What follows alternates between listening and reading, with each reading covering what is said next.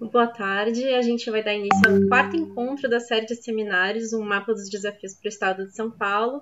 Série essa que está sendo realizada pelo coletivo 660 em parceria com a Ação Educativa. E é um prazer ter todos vocês hoje conosco. É, gostaria de primeiro agradecer a presença dos nossos convidados, o Ricardo Rodrigues e o Zé Pedro Oliveira Costa. Muito obrigada por participarem aqui conosco hoje, tentando desenvolver esse mapa de desafios para o Estado de São Paulo. Né? É, esse, esse, essa série de seminários ela faz parte de um projeto em convênio com a Secretaria de Desenvolvimento Econômico, Ciência, Tecnologia e Inovação do Estado de São Paulo, que é um projeto de emenda parlamentar indicado pelo gabinete da deputada Isapena, chamado Inovação, Desenvolvimento e Resiliência nas Políticas Públicas em São Paulo. Um mapa para os desafios entre 2020 e 2030. Então, para iniciar esse projeto, nós estamos começando aqui com essa série de seminários. Esse já é o quarto encontro. Gostaria de agradecer a presença de todo mundo que está aqui acompanhando ao vivo pelo Facebook e todo mundo que já nos acompanhou nos encontros anteriores. Gostaria de começar hoje, então, é, pelo Zé Pedro de Oliveira Costa, que vai falar um pouco conosco a respeito das reservas naturais. Ele é arquiteto e ambientalista, pesquisador do Instituto de Estudos Avançados da USP, propôs ou colaborou da criação de 180 áreas protegidas nos últimos 40 anos, no total de cerca de 150 milhões de hectares. Então, Zé Pedro, por favor, se você quiser começar, fica à vontade. Bem, bom dia a todos, ou boa tarde, desculpe, espero que estejam todos bem nessa nossa pandemia. Uh, a imagem está boa, a voz está boa, podemos dar continuidade. Eu queria, então, em primeiro lugar, agradecer o convite e especialmente para ser convidado para fazer um mapa, porque o que eu tenho a comentar aqui diz muito respeito ao mapa do Estado de São Paulo. Eu também trabalhei durante anos durante, uh, nessa questão da proteção da natureza na Secretaria do Meio Ambiente do Estado de São Paulo. Uh, comecei uh, meu trabalho ainda no governo Paulo Egídio como assessor da Secretaria do Planejamento e depois como assessor do governador Montoro e fui o primeiro secretário do Meio Ambiente do Estado de São Paulo com a criação da Secretaria do Meio Ambiente, feita pelo Montoro em 1986. Então, estou bem enfronhado nesse trabalho, Aliás, devo agradecer ao meu companheiro Ricardo Rodrigues, que sempre que estivemos juntos trabalhamos integradamente na melhoria e na proposição uh, de criação de novas áreas protegidas. O que me foi dado como tempo é meia hora, eu tenho então uh, uma, um tanto para falar, e eu vou resumir, aliás, que acho um tempo muito bom, mas o assunto é infinito. Então, eu vou fazer três blocos uh, de fala, dos quais uh, eu começo dizendo em por que preservar, por que criar áreas naturais protegidas e qual é a razão disso.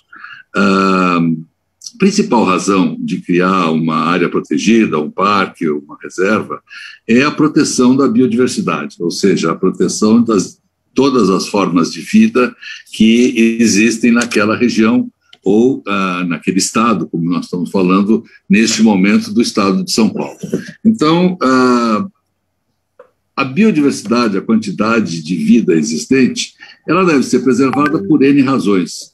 A primeira delas, por razão ética. Eu acho que esta espécie chamada homem, certo? Homem e mulheres, ela, na verdade, não tem o direito de ser a destruidora de todas as outras, ou da maior parte, ou de grande parte das espécies que existem no planeta. E o que vem acontecendo é que o homem é o principal responsável uh, pelas destruições que vêm acontecendo, especialmente depois do século XIX, final do XVIII, com a Revolução Industrial e com o crescimento demográfico.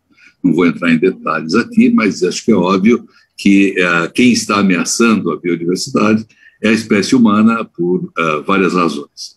E a outra razão é o próprio homem, ou seja, nós estamos matando a galinha dos ovos de ouro. A, a razão de proteger a natureza, além de uma questão ética de defender para alguns a criação de Deus, certo? É também aquela de nos defender de uma destruição ou de uma autodestruição.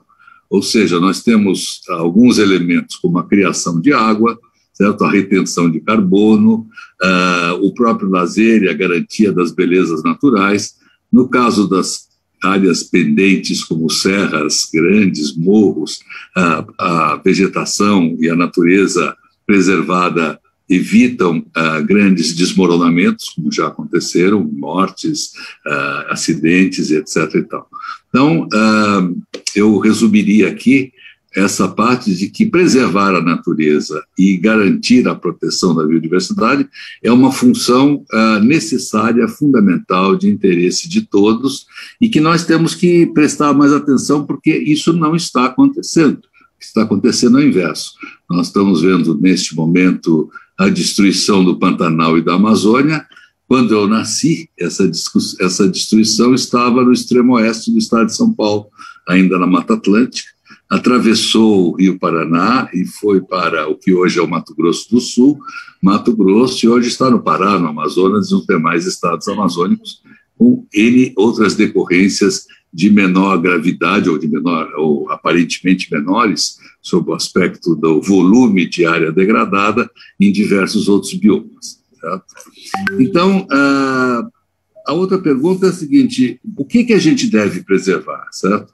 Se a gente quer fazer a proteção das espécies uh, que existem na natureza, tanto de plantas quanto de animais, uh, nós precisamos conhecê-las. E para conhecer, nós precisamos uh, saber quais são os biomas, certo? E garantir a proteção das diversas considerações ou manifestações de vida bióticas de cada um desses conjuntos de áreas naturais, chamados de biomas, como, por exemplo, as regiões costeiras, inclusive as regiões marinhas, uh, no caso de São Paulo, a floresta atlântica, certo? A floresta atlântica de altitude, ou os pinheirais, como esses característicos da região da Mantiqueira e Campos do Jordão, uh, proteger o cerrado, que ocupava a parte central do estado de São Paulo, e esta outra floresta, que também chamamos de floresta atlântica, mas a floresta semidecídua no interior do estado de São Paulo. Então, ah, esta proteção não é possível se proteger tudo integralmente. Então, aliás, mesmo porque não, já não existe mais esse conjunto de coisas, existem alguns resquícios, alguns remanescentes dessa floresta, certo? Então, a, a ocupação a, da floresta da floresta atlântica a, começou a acontecer há 12 mil anos, quando aqui chegaram os nossos primeiros indígenas, alguns falam em 15 mil anos, diversas tribos, tribos anteriores ao Tupi, ocuparam o nosso litoral, como é documentado pelos sambaquis, depois os tupis tomaram esse território, e quando chegaram aqui os portugueses, existia uma ocupação de todo o território paulista, de todo o território brasileiro e de todo o território americano, já de milhares de anos, certo? Com descrições que a gente pode buscar bem mais detalhadas do que é possível resumir aqui, mas uma ocupação que não ameaçava a biodiversidade, porque ela tinha uma densidade e uma, um instrumental que não era uh, capaz de destruir seguramente a floresta. Há grandes discussões de fogos acontecendo no Cerrado, uh, obviamente isso está vinculado ao final da última glaciação e de todas as glaciações anteriores. Nós temos até 10 mil anos atrás relatos de animais de tamanho muito grande que desapareceram ao mesmo tempo em que terminava a glaciação e a presença do homem se colocava, como preguiças gigantes, tatus gigantes, uh, tigres uh, de dentes de, sabra, de sabre, que há 10, 15 mil anos eram comuns, uh, enfim, na América e no Brasil, certo? essa, essa ocupação, com a chegada dos europeus, ela passou a ter uma dimensão e uma velocidade e uma destruição maior, por um elemento chamado o ferro, o machado. Uh, os índios já utilizavam o fogo para fazer a abertura da mata para plantio da mandioca, milho e outros dos seus cultivos, mas o machado deu uma aceleração muito grande nisso, e a ocupação na Mata Atlântica e no estado de São Paulo, menos, mas também, certo? Mas principalmente no Nordeste, para o plantio de açúcar. Então, o plantio de açúcar foi a primeira grande ocupação que destruiu boa parte da mata litorânea do Nordeste brasileiro, pequena parte também na mata litorânea do estado de São Paulo, e nesta região a segunda grande ocupação uh, foi uh, realmente a descoberta do ouro em Minas Gerais pelos paulistas, que gerou um, uma ocupação grande. Então, nós temos a cana-de-açúcar, em primeiro lugar, certo? Uh, depois o ouro, e aí chegamos no século XIX à questão do café. O café entrou como uma onda vindo do Rio de Janeiro pelo Vale do Paraíba, pulou a cidade de São Paulo, cujos terrenos no entorno não são muito férteis, e se expandiu para todo o fertilíssimo território paulista, gerando uma riqueza que transformou São Paulo na área mais importante uh, economicamente do país até hoje. Então, uh, essa visão de como isso se deu, existe um trabalho importante que foi coordenado pelo Mauro Vitor, publicado no centenário do jornal O Estado de São Paulo, aí na década de 60, 70, chamado 100 anos de devastação, que é um mapa que eu não quis trazer aqui porque o tempo era pouco, mas em qualquer momento a gente pode colocar, que é bastante conhecido, ou seja, mostrando como a cada 10 anos, 20 anos, a, a, a vegetação foi sendo destruída, a vegetação paulista, começando pelo litoral, desenvolvendo depois pelo Vale uh, do Paraíba, uh, o ouro de Goiás e algumas ocupações e tal não chegaram a prejudicar a vegetação, mas o café, que depois se transformou em outras, outras culturas, especialmente mais recentemente na cana-de-açúcar e na soja, realmente foi o elemento que destruiu, em maior parte, uh, a vegetação nativa do estado de São Paulo, tanto aquela de, uh, de floresta, das suas diversas gradações e diferenciações, da Mata Atlântica exuberante, plena e úmida, numa vegetação de Mata Atlântica mais uh, seca, menos assim uh, robusta para o interior, cada uma com suas caracterizações de fauna e de flora, e não é uma coisa que aconteceu só no século XIX, isso continua acontecendo no século XX, certo? Tanto que em 1950 ainda vi as grandes queimadas nas barrancas do Paraná, e própria área onde hoje está o Pontal do Paranapanema foi destruída depois da década de 50, ou seja, uma coisa que está dentro do nosso estágio de vida, certo?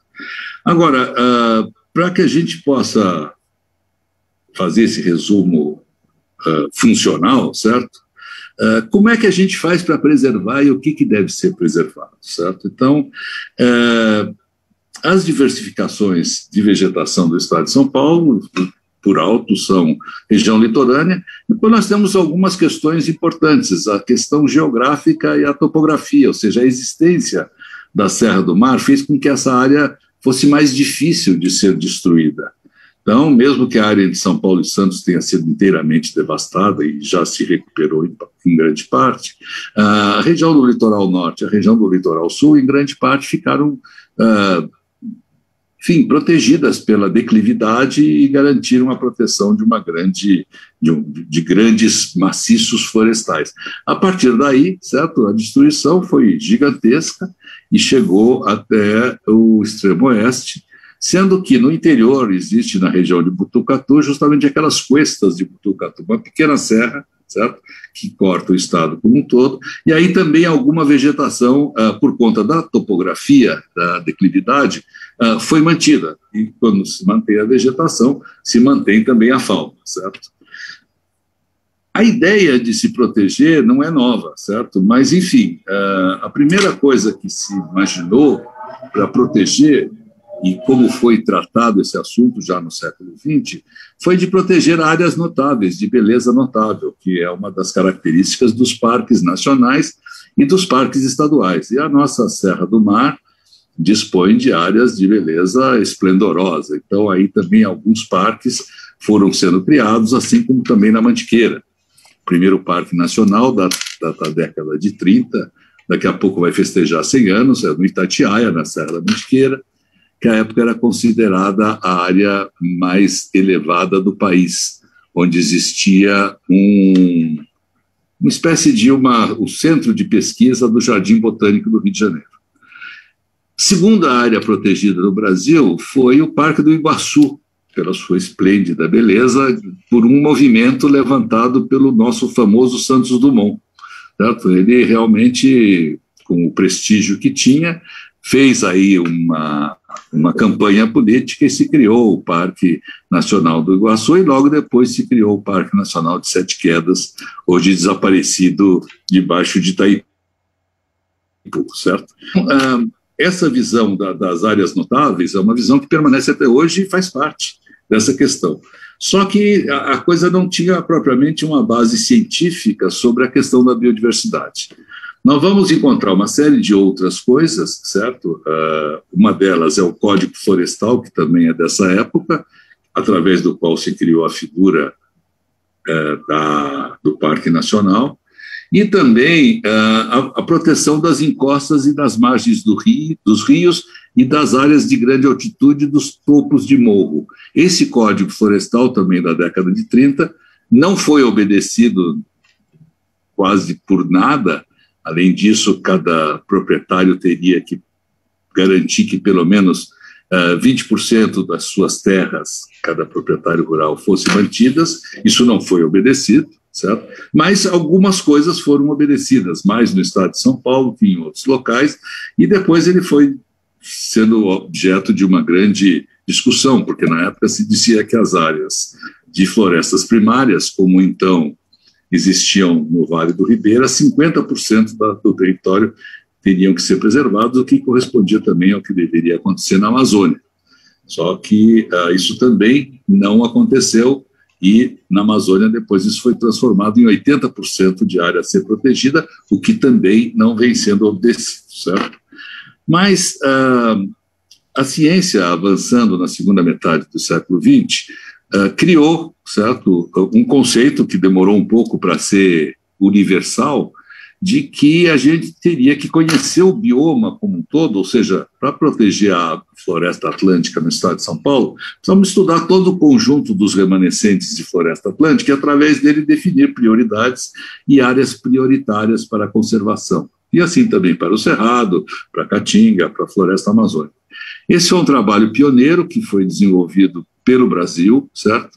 E que até hoje é um trabalho excelente, que resultou em mapas para todo o país, fundamentais para a proteção da nossa biodiversidade, e também ah, começou a indicação de novas questões. Além de você ter uma visão, que eu chamo de visão ah, do bioma, certo? Uma visão abrangente e, através dela, definir quais são as áreas prioritárias, isso envolvendo cientistas, administradores, num processo que não cabe aqui o tempo para ser detalhado, mas uh, também a ideia de proteção de corredores ecológicos, ou seja, uma área protegida da década de 40, 50 poderia ter 5 mil, 10 mil hectares insuficiente para a proteção dessa biodiversidade. Então, ela precisa ser aumentada e uh, também fazer parte de corredores, porque, entre outras coisas, com as mudanças climáticas, tanto a fauna quanto a flora precisariam se adaptar a esta nova situação geográfica.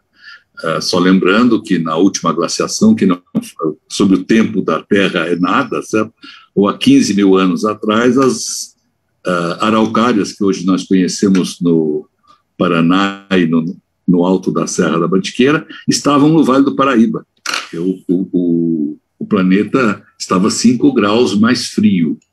E uh, durante 15 mil anos da desglaciação, estas áreas de floresta de araucárias foi se deslocando, subindo para se aclimatar em função dessa mudança climática. Então, isso não é novidade, uma mudança climática. A novidade é o tempo em que isso está acontecendo. Ou seja, se levou 10 a 15 mil anos para essa última adaptação, agora uh, se fala em 2, 3 graus em 100 anos. Certo? Então, não haverá tempo para que essas mudanças aconteçam, mas alguma adaptação tem que acontecer. Ou seja, nós estamos agora uh, no que se chama certo, a última era, que seria a era do antropocentro, onde o homem é o principal responsável pelas mudanças que estão acontecendo e vão acontecer mais e consideradas de extrema gravidade para todos, inclusive para nós, em especial para as classes menos favorecidas, certo? Ah, no estado de São Paulo, essa visão ecossistêmica e essa visão de identificação de áreas prioritárias, que foi inicialmente desenvolvida a nível federal e com a ajuda de uma instituição chamada Conservação Internacional, Russell Mittermeier sendo o seu impulsionador, eu tive o privilégio de participar disso desde a primeira reunião, ela tomou um impulso maior sobre a liderança do uh, Carlos Joly e do Ricardo Rodrigues, que está aqui uh, participando, é muita honra tratar com ele, de um projeto que se iniciou e que existe até hoje, há mais de 10, 15 anos, o, o, o Ricardo vai poder falar mais, muito melhor disso, chamado Programa Biota. Esse programa Biota detalhou para o Estado de São Paulo uh, muitas coisas mas muitas coisas mesmo, muitos detalhes, daquilo que precisava ser feito. Eu até pediria para a Janaína se ela pode colocar agora no visor um mapa do projeto Biopa, do, do, estado de São Paulo, que mostra uh, justamente isso que eu estou querendo colocar, a identificação de áreas prioritárias para a conservação. É possível, Janaína, colocar esse mapa, por favor? Noliuma, oba, vai aparecer. Então, o projeto Biota, que aí está nesse mapa, certo? Ele é, mostra no estado de São Paulo, infelizmente, ele não mostra as áreas que já são protegidas, ou as áreas que já existem com parques e outros tipos de reserva, que é o mapa que eu vou mostrar em seguida, certo? Mas uh, dá para ver claramente, por diferentes cores, sendo que as cores marrons mais escuras são áreas mais importantes ou mais prioritárias para serem protegidas, que nós temos um corredor ao longo da Serra da Mantiqueira, um corredor ao longo uh, do rio Aguapeí, um corredor ao longo do Rio do Peixe, um corredor lá no extremo uh, nordeste do estado de São Paulo, na região de Franca, e várias outras áreas que estão colocadas aí no centro do estado. Isso porque a região litorânea já conta com uma quantidade de áreas protegidas bastante significativas que nós vamos ver no, ma no mapa seguinte. E nós vemos outras cores, verde mais escuro, certo? Mostrando áreas importantes. Isso é a somatória do conhecimento biológico científico existente no estado de São Paulo, que não é pequeno e que buscou identificar com clareza aquelas áreas que precisam uh, ter mais atenção. Esse mapa foi publicado em 2008 certo? e até hoje foi atendido em menos de 10%, que já mostra uma aberração entre aquilo que é uh, o necessário se fazer e aquilo que de fato se faz. Então, se memorizarmos esse mapa agora, certo? Eu vou querer pedir agora para a Janaína para colocar o outro mapa, que é o mapa das áreas protegidas existentes no estado de São Paulo, para a gente poder fazer essa, uh, essa avaliação, certo? Então, neste outro mapa é aquilo que já existe como áreas protegidas. A melhor forma de garantir a biodiversidade é uh, criar áreas protegidas. E nós estamos vendo aqui em verde aquelas áreas que são consideradas como de proteção integral, certo? Uh, também ainda no litoral mais fraco do que eu gostaria, num pontilhado, as áreas que estão, inclusive incluindo uma boa parte do mar territorial, certo? Uh, protegidas por áreas de proteção de uso sustentável, certo? Inclusive lá no extremo oeste, no Pontal do Paranapanema, uh, também o importante parque do Morro do Diabo, que agora querem transformar o nome em outro nome por medo do diabo, e algumas outras áreas pontilhadas no interior do estado, sendo que no, na área central nós temos uma importante área de proteção ambiental, que é de uso uh, sustentável, ao longo da Serra de Botucatu, enfim, dessas cuestas. O que há de novidade aqui, em relação ao que a gente vem falando, é que essas áreas que estão numa coisa, numa cor meio arroxeada, são apenas indicações de áreas que precisam ser protegidas. Chamamos elas de ASPES, certo? É, então, essas áreas roxas, espera aí, vamos ver se esse se, se a mancha preta desaparece daí, certo? Essas áreas pretas roxas, elas uh, não são áreas protegidas ainda, são wishful áreas protegidas ao longo do Rio do Peixe, ao longo do Rio Aguapi, mas nós não temos isso ao longo da Mantiqueira, sequer essa indicação. São dez áreas que foram uh, indicadas por uma portaria do então secretário Bruno Covas, certo? Uh, trabalhei nisso e várias pessoas trabalharam, mas notem bem que todo o extremo norte do estado de São Paulo, tanto oeste quanto leste, praticamente, dá para descer o mapa um pouquinho, não sei se a gente consegue, isso, esse, esse conjunto não tem nenhuma indicação ainda, pouquíssimas coisas, quando a gente lembra que no mapa do biota, toda essa região uh, do Nordeste, aqui da região de Franca, tem uh, necessidade urgente de ser protegida, e faz 12, 13 anos que isso foi publicado em 2008. Ou seja, há uma desfunção entre aquilo que a ciência diz, a melhor ciência do Estado de São Paulo, pode dizer de nível internacional, seguramente, certo? E aquilo que o Estado faz. Ou seja, nós temos uma lista enorme de espécies ameaçadas, inclusive o mico-leão preto, uh, que é o animal símbolo do estado de São Paulo, que já foi considerado extinto e reencontrado, tem inclusive uma área de estudo do mico-leão preto no aqui interior mediano do estado de São Paulo, que não está sendo implementado, e não tem uma, um estudo ou um plano para fazer isso. Então, uh, Aí estão os remanescentes principais dentro do projeto Biota, certo? E aí se precisa fazer alguma coisa. Aqui no, na, na Serra da Mantiqueira existe uma manchazinha uh, em um roxo parecido, uh, que é um recém-criado único, criado área protegida de proteção integral, um monumento natural da Serra da Mantiqueira que é muitíssimo bem-vindo, mas está longe de ser aquilo que a gente precisa. Existem muitas outras áreas cujos estudos já estão prontos. Uh, o próprio estudo ao longo da Serra da Mantiqueira, uh, da, da área do Cajuru, na região de Ribeirão Preto, onde existem os últimos remanescentes do Jequitibá, que, aliás, também é a árvore símbolo uh, do estado de São Paulo, e todas essas outras aspes e tudo aquilo que o Biota nos indicou. Ou seja, nós estamos muito atrasados e cada dia, cada mês, cada ano de atraso é mais destruição que acontece. Há, felizmente, uma consciência crescente a respeito da proteção é, do que é e que é preciso proteger a natureza. Há movimentos nessa direção que vinham ganhando força. É, durante o governo Temer, nós conseguimos avançar bastante em termos de áreas protegidas, assim também como no governo Fernando Henrique e no primeiro governo do Lula, com a Marina Silva, mas depois disso ficamos num deserto. Aliás, pelo contrário, nós estamos hoje numa situação em que o governo federal incentiva a destruição, ou seja, nós estamos andando para trás. Então, com relação a um mapa daquilo que é preciso fazer, eu gostaria de resumir, que meu tempo está acabando, que existe o conhecimento científico, existe o estudo necessário, existe a indicação daquilo que precisa ser feito, existe a necessidade de se proteger aquilo que já foi feito. Aqui em torno uh, da Grande São Paulo, a gente vê um, uma espécie de um círculo, certo? Aproximadamente um círculo, e que é uma reserva da biosfera, que é uma forma de proteção.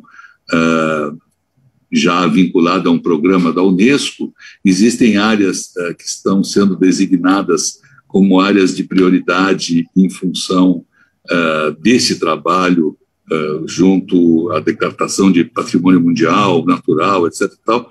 e nessa imagem ampliada a gente pode ver esse corredor que vai desde a divisa do Rio de Janeiro até a divisa do Paraná, somando áreas de proteção integral com áreas de uso sustentável e que mostra que é preciso realmente não só proteger isso, como avançar uh, na proteção de outras áreas. O que uh, o governo tem feito insatisfatoriamente uh, reclamações de que uh, não tem as estruturas, mas me parece que falta tanta vontade política que, neste ano passado, o governo uh, Dória teve a desplante de propor a extinção da Fundação Florestal, que é o órgão encarregado de proteger essas áreas. Eu queria, por último, fazer o destaque ainda sobre a lei que foi aprovada no ano 2000. Aqueles que tiverem interesse poderão acessá-la facilmente na internet. Chama-se a Lei do Sistema Nacional de Unidades de Conservação, ou a Lei do SNUC, como nós chamamos. Basta aí botar no Google Sistema de Unidades de Conservação, certo? Uh, esse sistema é quem nos habilita a ter diferentes categorias de áreas protegidas para proteger uh, a nossa natureza. Existem cerca de 12 categorias, algumas delas de proteção integral, como o próprio nome diz, a ser mais protegidas, e outras de uso sustentável, e corresponde mais ou menos como se fosse o tombamento da cidade de Ouro Preto, ou seja, as pessoas continuam donas das casas, mas elas não podem destruir a sua casa. Então, isso também leva a uma, digamos assim, um cardápio, uma variação de diferentes formas de proteção que tem sido muito útil. Por fim, eu queria lembrar que existe também no estado de São Paulo uma listagem de mais de 50 sítios geológicos, também identificados pelo Instituto uh, Geológico do Estado, e que está sem definição de como isso será ou se será protegido. Alguns desses sítios, como por exemplo a Pedra do Baú, já está dentro de uma área protegida, que foi criada há cerca de seis, sete anos atrás, que é o Monumento Natural da Pedra do Baú, muitos deles dentro de parques, como o Parque da Serra do Mar, que é o maior parque da Mata Atlântica, vai de Peruíbe até Ubatuba, tem mais de 300 mil hectares, mas muitos outros identificados e soltos ao, ao Deus dará, certo? Então, existe muita coisa a ser feita, eu acho que esta oportunidade da gente falar disto aqui hoje é excelente, e esse debate, claro que eu gostaria que a gente pudesse depois conversar uh, com mais detalhe algumas coisas que possam ser do interesse de quem está participando, mas uh, isso envolve uma quantidade grande de pessoas, muita dedicação de muita gente, mas precisa ser feito. Então, uh, isso é necessário pelo interesse público, isso é necessário pelo interesse econômico, isso é necessário para a gente ter água para beber, isso é necessário para evitar os principais efeitos ou amenizar os efeitos das mudanças climáticas, isso é eticamente necessário, e neste momento o país está na contramão dessa história. Muito obrigado. Muito obrigada, Zé Pedro. queria agradecer muito pela sua fala, é, também por trazer a gente os mapas, né? A gente vai depois deixar os links que ele citou aqui nos comentários. Queria também convidar todo mundo que está nos assistindo via Facebook para deixar as perguntas e os comentários aqui no chat para a gente depois é, ler juntos aqui no vídeo, né?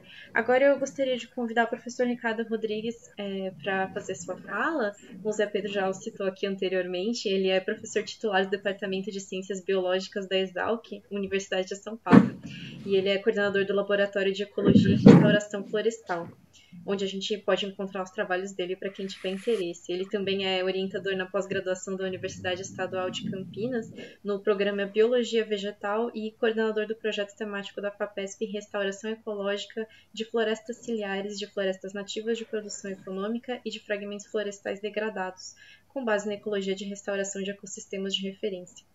É, professor, por favor, fique à vontade. Obrigado, Janaína. Foi, um, prazer estar uh, tá podendo estar tá aqui com vocês, falando um pouquinho desse desafio que me colocaram, falar um pouquinho da questão uh, da evolução agrícola no Estado, relacionado com a questão ambiental. Eu queria muito agradecer o convite, agradecer o convite ao Sérgio Haddad, que me convidou, ao Luiz Marques, agradecer essa delícia de estar junto com, com o Zé Pedro, que é meu companheiraço de muitos anos aí de briga ambiental, uh, em São Paulo e no Brasil inteiro. Então, vai ser um maior prazer do mundo estar aqui com vocês, poder falar um pouquinho com vocês. A fala do Zé Pedro foi excelente, eu acho que introduz fortemente o que nós vamos falar aqui. Uh, eu vou falar um pouquinho mais das áreas que uh, não estão destinadas à unidade de conservação, não estão destinadas às áreas protegidas, uh, mas também tem um papel absurdamente importante para a da biodiversidade e para a sustentação uh, econômica do Estado. Então, vou pedir uh, licença, Janaína, eu vou fazer, posso, posso dividir aqui minha apresentação, né? Por favor, fica à vontade. Tá bom. Então, eu vou tentar fazer uma apresentação o mais rápida possível para a gente conseguir uh, ter tempo de da nossa conversa. Uh, deixa eu só achar onde ele está aqui, que era só um pouquinho. Mm-hmm.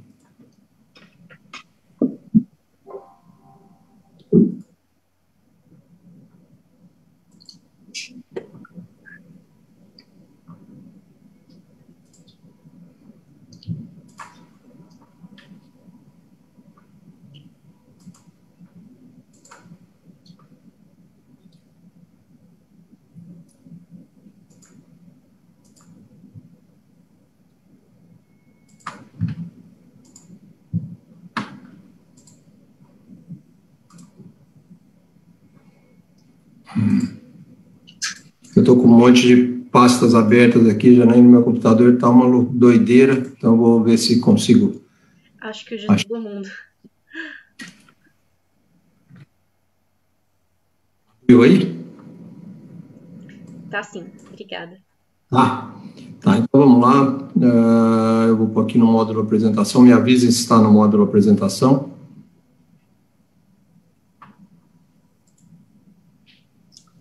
Agora tá sim. Aí? Melhorou? Tá só uma, uma página, né? Isso, agora tá excelente. Tá bom. Então, vou falar dessa conjuntura e desafios da agricultura em São Paulo, dentro dessa perspectiva de elaborar um mapa uh, para o estado de São Paulo. Então, acho que, é, primeiro, antes de tudo, eu queria agradecer uh, tudo que eu vou falar aqui, é uma construção coletiva do laboratório, né? O laboratório já tem 22 anos, o LERF, Laboratório de Ecologia e Restauração Florestal. Então, preciso agradecer a eles, que todos eles contribuíram por, por algum momento aqui da minha fala uh, de hoje, tá? Uh, dentro dessa contextualização, né, do, da, da, agricultura no estado de São Paulo, acho que a gente tem que uh, entender bem que toda a expansão da fronteira agrícola histórica de São Paulo, ela foi e muitas vezes ainda continua sendo fundamentada no fogo. Então, essa é uma questão real uh, da nossa expansão agrícola, uh, não só de São Paulo, mas do Brasil inteiro. Isso em São Paulo aconteceu 150, 200 anos atrás, está acontecendo hoje uh, no Pará, Acre, Rondônia. E, logicamente, quando eu faço a expansão da fronteira agrícola fundamentada no fogo, essa expansão não me permite planejamento agrícola e ambiental. Então, essa é uma questão fortíssima para a gente refletir. Uh, isso aconteceu no estado de São Paulo, acontece em algumas situações ainda em São Paulo, mas certamente é a realidade do Brasil inteiro. Então, São Paulo, o Zé Pedro falou bem, uh, esse trabalho que é ícone em São Paulo, uh, onde tem essa descrição do que era São Paulo no começo da década de 1854, mostrando aí o início da ocupação do Estado.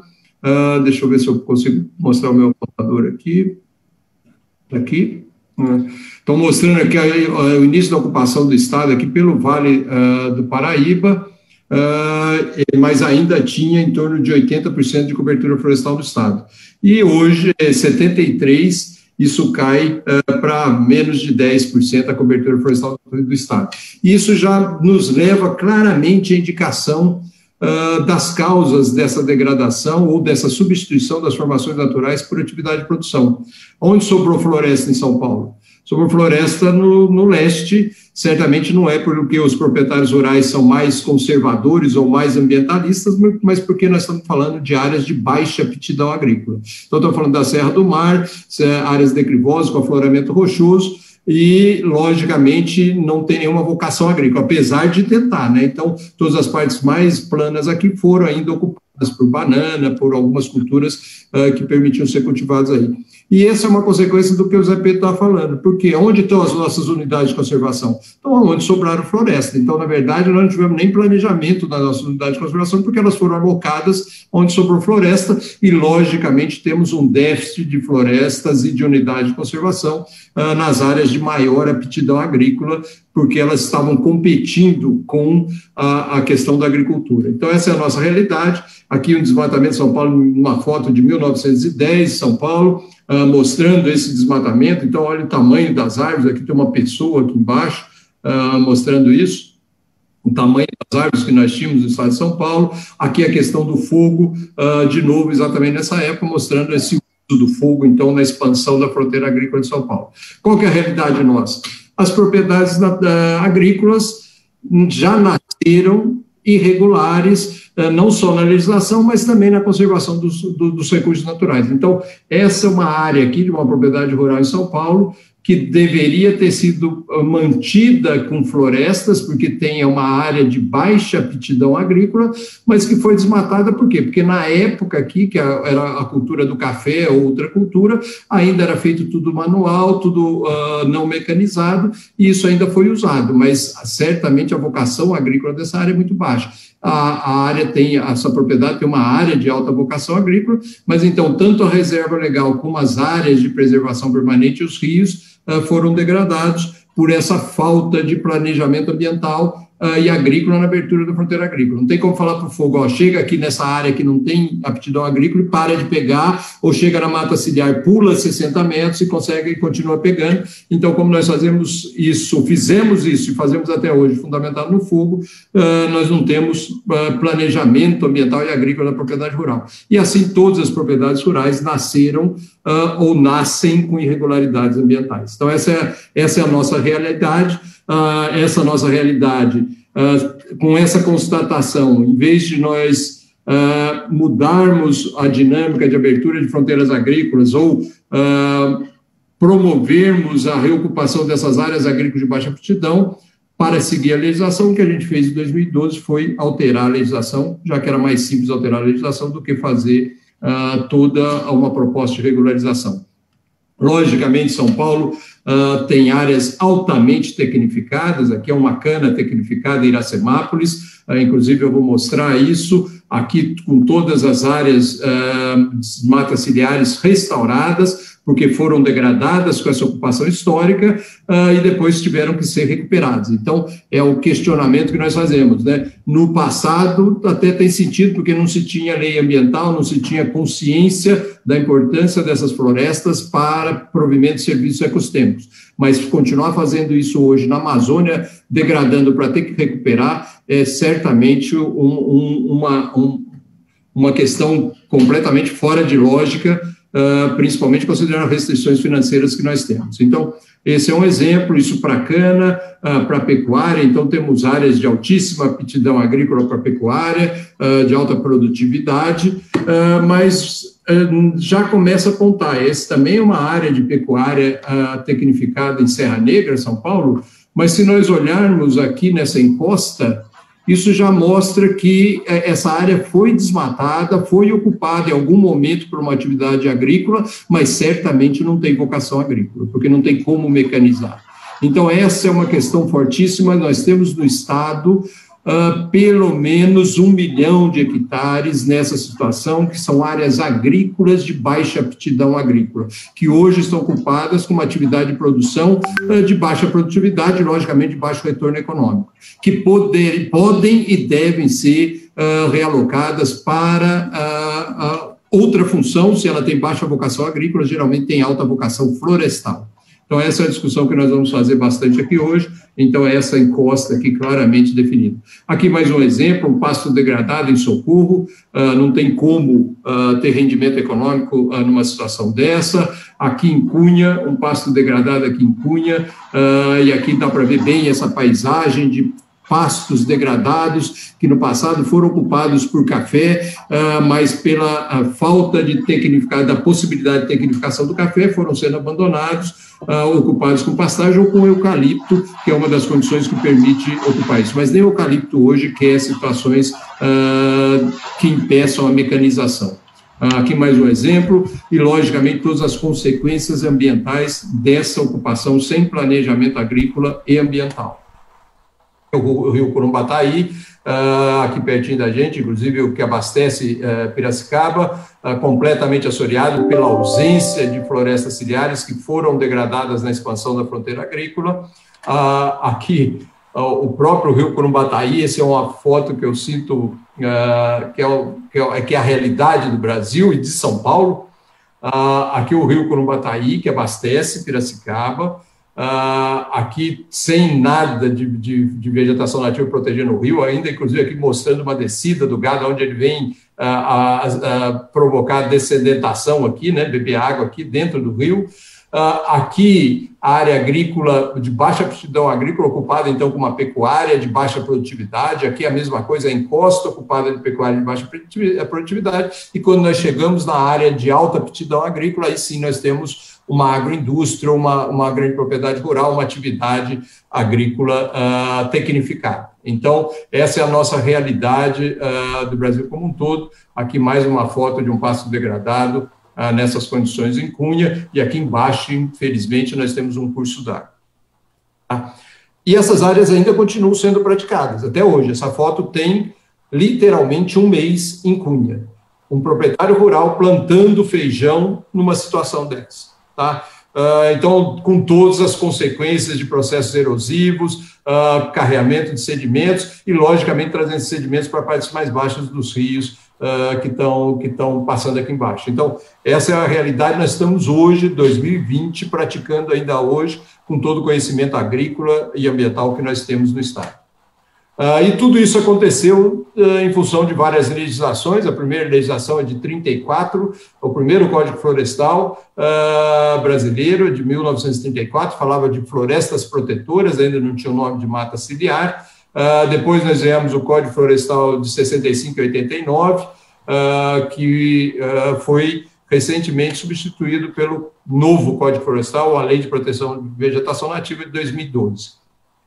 essa nessa legislação de 2012, nós tivemos um grande retrocesso ambiental, perdemos muita proteção uh, da, dos, dessas situações que eram definidas no Código 65, mas tivemos alguns avanços uh, bastante interessantes. Para citar um dos retrocessos aqui dessa lei de 2012, a proteção de nascentes, que é uma questão de proteger a água, proteger a fonte de água, proteger uh, o provimento de serviços ecossistêmicos. Na vegetação de 65 era de 50 metros, independente do tamanho da propriedade. Hoje, nessa lei de 2012, é de 15 metros, independente do tamanho da propriedade. Então, só um exemplo desse retrocesso que nós tivemos ao longo do tempo. Mas tivemos, como eu falei, algumas, alguns benefícios da legislação. E um desses benefícios é o tal do CAR, o Cadastro Ambiental Rural.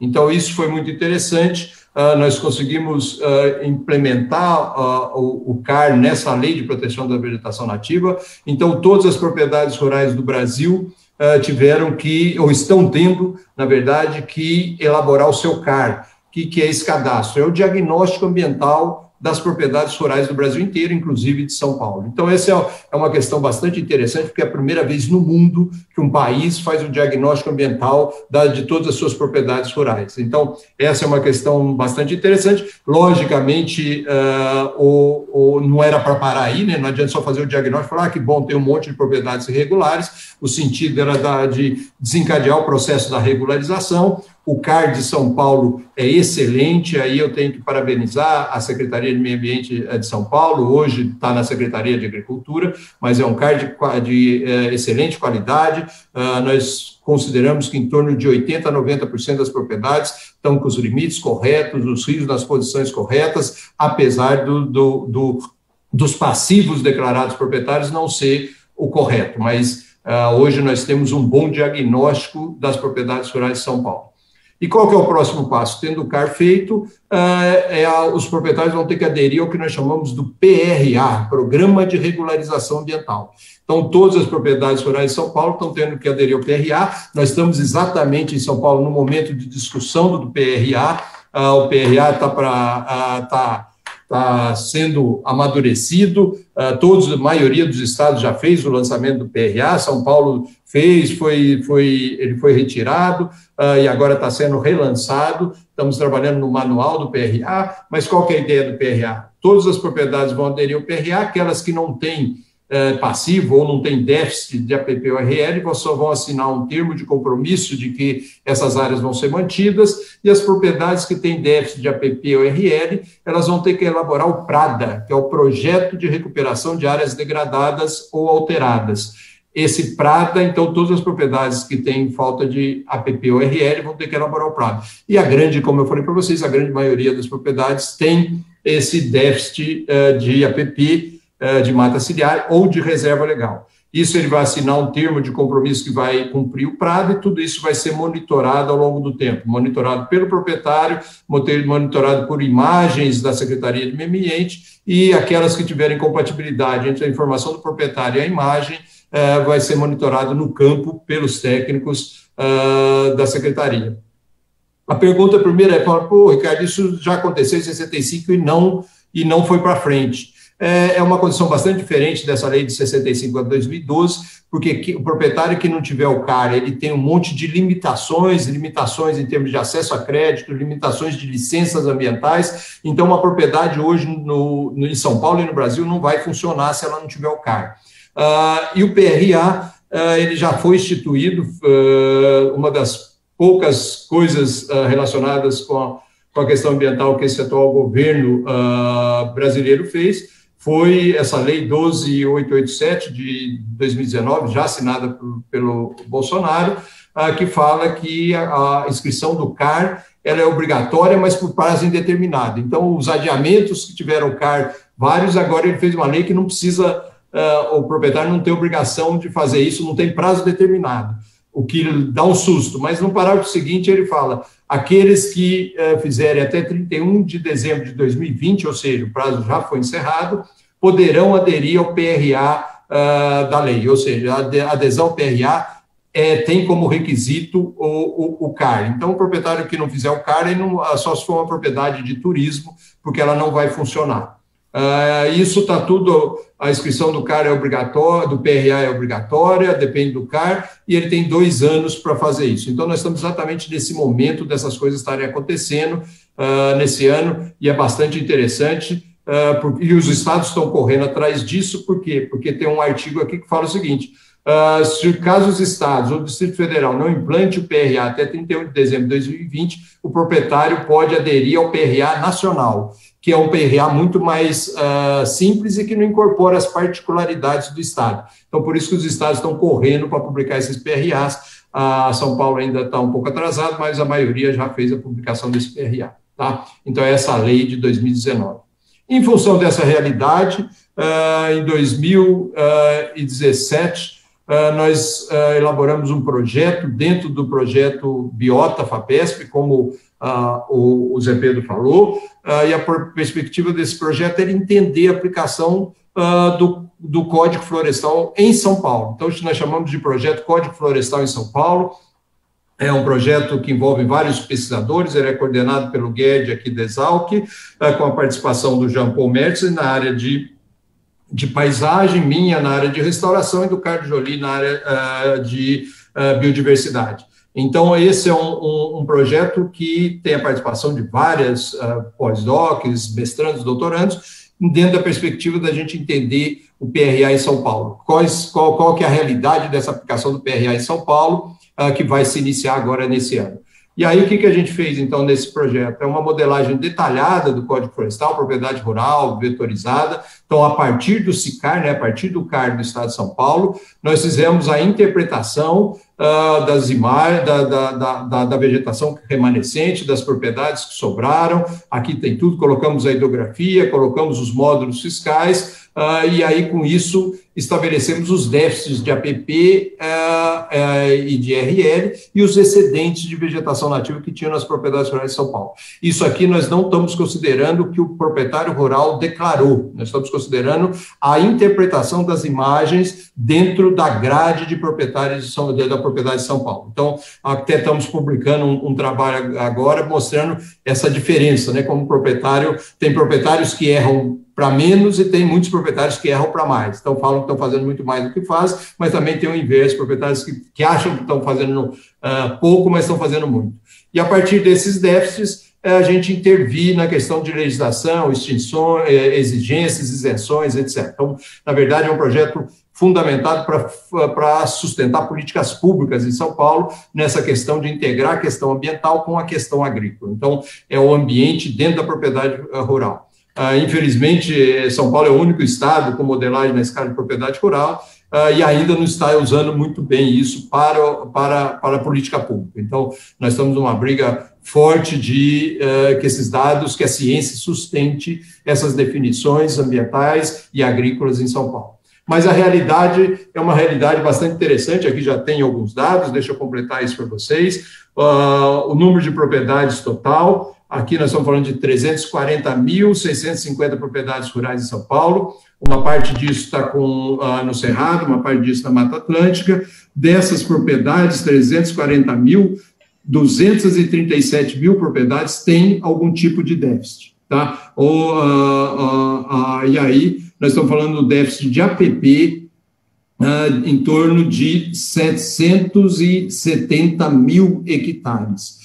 Ou seja, as propriedades rurais de São Paulo vão ter que recuperar nos próximos 20 anos 770 mil hectares de matas ciliares que estão irregulares na legislação atual, mesmo considerando que a legislação atual é muito mais branda do que a legislação de 65. Então, só para as APPs. E o que é mais maluco desse dado é que esses 770 mil hectares, uh, ah, 90% dele está uh, uh, em 90% dele está em 48 mil propriedades uh, rurais, ou seja, 14% das propriedades rurais de São Paulo.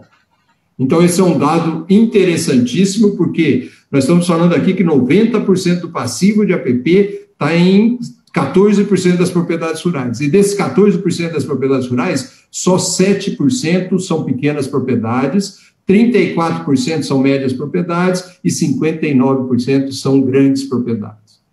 Então, quando nós falamos que ah, o pequeno proprietário rural tem ah, alguma responsabilidade ah, na irregularidade ambiental do Estado, é uma grande sacanagem, porque se nós resolvêssemos todos os pequenos proprietários rurais de São Paulo, em termos das áreas de preservação permanente, nós não resolveríamos nem 10% do passivo de APP em São Paulo. Então, essa é a realidade que a gente tem que pensar com muito carinho, uh, porque certamente uh, são coisas muito distintas em termos do tamanho da propriedade rural.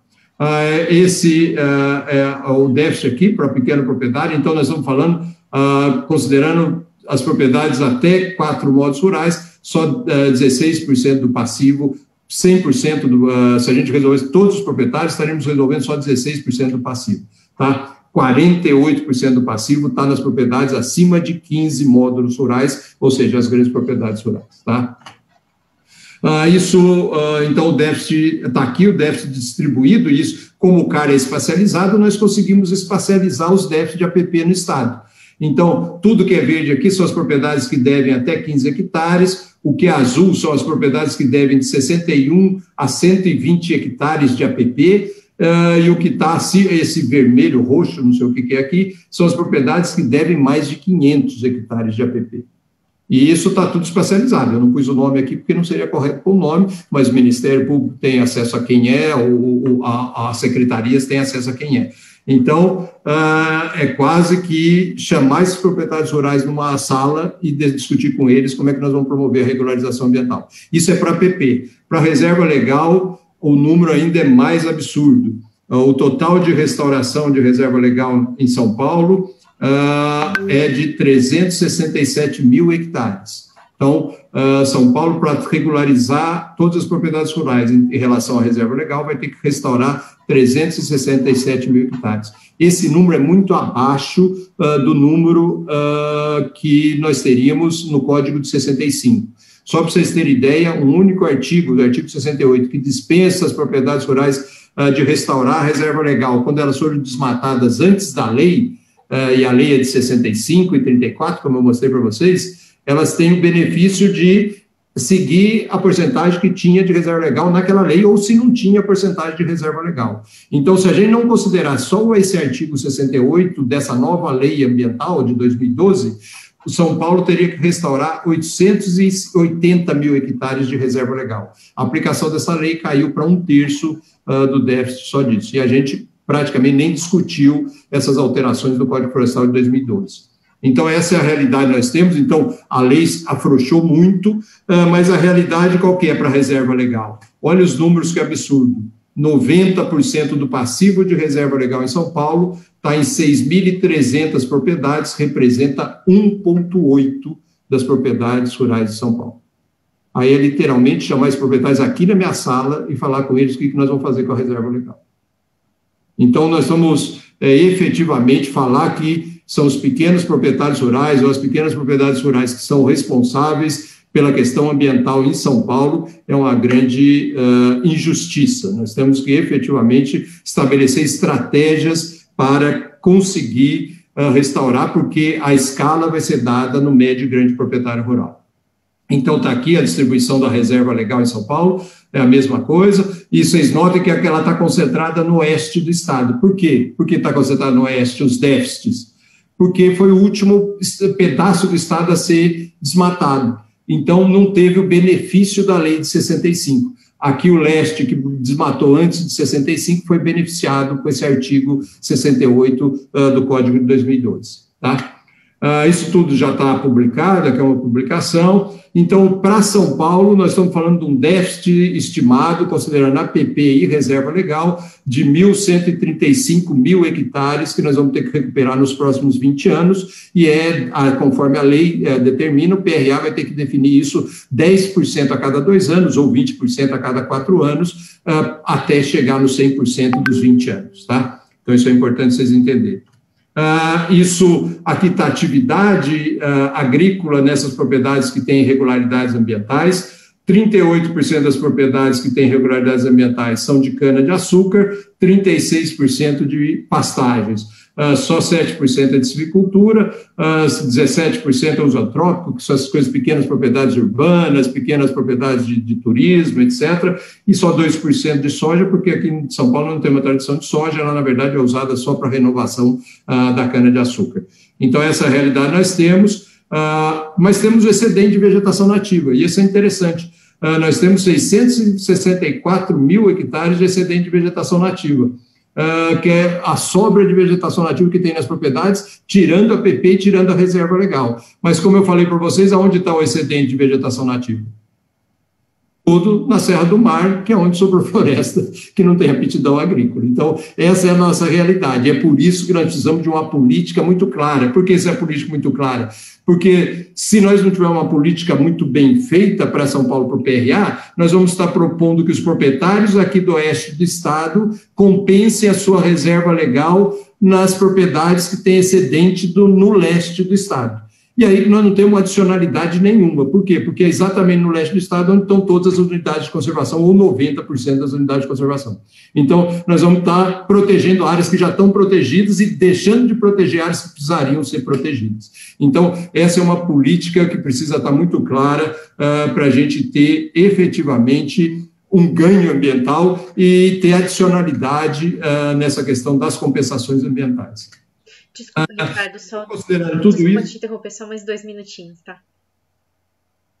Ah, tá bom. Então, considerando tudo isso, nós estamos falando de 341 mil propriedades, 1 ah, milhão e 140 eh, mil hectares de restauração. Aqui o tamanho das propriedades, então tudo está nas grandes propriedades e médias propriedades rurais. E aqui está a questão dessa realidade. E nós temos o excedente de vegetação, tanto no Cerrado como na Mata Atlântica, para essas situações de compensação. E eh, isso tudo, nós, como o projeto está nessa política de sustentar, dessa proposta de sustentar a política pública, nós temos aqui um site que eu recomendo que vocês entrem, é como regularizar porque nós, nós temos isso para o município. Então, nós podemos clicar ali no município e vai dar todos os dados de passivo ambiental uh, daquele município. Aqui, para vocês terem ideia, uh, a modelagem estadual e aqui a modelagem municipal. Olha a diferença para o mesmo município aqui de Piracicaba. Então, notem a diferença da cuidade quando nós usamos aqui os dados municipais e não os dados do Estado. Tá? Essa realidade é a realidade para o Brasil, nós não, não precisam ficar preocupados, porque isso não é exclusividade de São Paulo, isso aqui é o, o déficit de APP para o Brasil. Uh, de novo, o déficit de APP no Brasil, uh, 90% da, da, da, das APPs do Brasil estão uh, em 9% das propriedades rurais do Brasil, só 8% é pequena propriedade, 26% é média, 67% é grande propriedade. A única questão de São Paulo é que São Paulo perdeu para o Brasil, aqui ele tem mais grandes propriedades irregulares do que o próprio Brasil, porque Bahia, na verdade, tem muitas pequenas propriedades. É a mesma coisa para reserva legal, reserva legal, o número foi exatamente idêntico, 2% das propriedades rurais detêm 90% do passivo de reserva legal uh, em São Paulo. A única questão, o único alento que nós temos é que, com a tecnificação da agricultura que aconteceu nas últimas décadas, a própria agricultura está abandonando essas áreas agrícolas de baixa aptidão e se concentrando nas áreas agrícolas de maior aptidão, porque não compensa mais produzir nessas áreas agrícolas de baixa aptidão. E elas estão sendo uh, abandonadas. E esse fato de elas estarem sendo abandonadas nos permitiu, na Mata Atlântica, que não é um dado para São Paulo, mas é da Mata Atlântica, uma inversão até 2006, o desmatamento estava maior que a recuperação de florestas, né? Aqui é uma recuperação com plantio ou com regeneração natural, e em 2006 até 2009 nós invertemos essa curva, ou seja, hoje nós temos na Mata Atlântica mais recupera, surgimento de novas florestas, geralmente pelo abandono de áreas agrícolas, e surge essa regeneração natural, então que a gente chama de regeneração natural ou de restauração passiva, comparado ao desmatamento. Então, essa é uma, uma questão é, importante uh, para ser feita. O que eu gostaria uh, de comentar com vocês, é, em função da minha restrição de tempo, é que, em função dessa realidade, nós precisamos ter estratégias uh, para São Paulo. Então, a estratégia que nós estamos propondo para São Paulo é uma estratégia do seguinte: primeiro, você considerar a regularização ambiental dessas propriedades rurais pela metodologia de restauração. Então, a gente ganhar escala uh, com essas regiões, que são regiões agrícolas de baixa aptidão agrícola. Então, o que, que eu estou falando? Estou falando da Mantiqueira, estou falando da Serra, Serrania de São Roque, estou falando de todas essas áreas agrícolas que são historicamente agrícolas, mas são áreas de baixa aptidão agrícola. Então, a gente trocar essas, essa atividade agrícola uh, de baixa produtividade por florestas, dentro dessa perspectiva de florestas para regularização ambiental, mas também para aproveitamento econômico, já que a reserva legal é passível de exploração econômica desde o Código 65. Então, a gente reocupar essas áreas agrícolas uh, uh, para compensação de reserva legal dos proprietários rurais. E qual é a proposta em termos de tamanho de propriedade? Pequeno agricultor em São Paulo restaura as matas ciliares com aproveitamento econômico, que é possível então, é possível ele restaurar as áreas com aproveitamento econômico, desde que não seja madeireiro. Ainda para o pequeno proprietário rural de São Paulo, ah, como eles foram historicamente deslocados para as áreas de menor aptidão agrícola, né, as grandes empresas agrícolas foram comprando os pequenos proprietários, deslocando eles para as piores regiões, esses pequenos agricultores geralmente têm muitas áreas agrícolas de baixa aptidão agrícola dentro da propriedade dele. Então, é a gente restaurar essas áreas agrícolas de baixa aptidão uh, uh, agrícola dentro das propriedades desses pequenos proprietários rurais, dentro da perspectiva de reserva legal, mas eles vão perguntar, mas o pequeno não precisa de reserva legal. O que, que ele vai fazer? Ele vai disponibilizar essas áreas para compensação da, da déficit de reserva legal dos grandes proprietários rurais. Então, nós podemos retornar, fazer uma recuperação social que nós fizemos histórica. Historicamente, deslocamos os pequenos para as áreas de, de baixa aptidão agrícola, agora nós fazemos os grandes pagarem para os pequenos a compensação da reserva legal nessas áreas. Escolhemos as melhores áreas agrícolas desses pequenos para tecnificação, para ele conseguir ganhar dinheiro, Uh, então, fazer uh, tecnificação da pecuária, silvopastoril ou mesmo culturas, uh, mas a, a, pequena propriedade rural ficaria que jeito?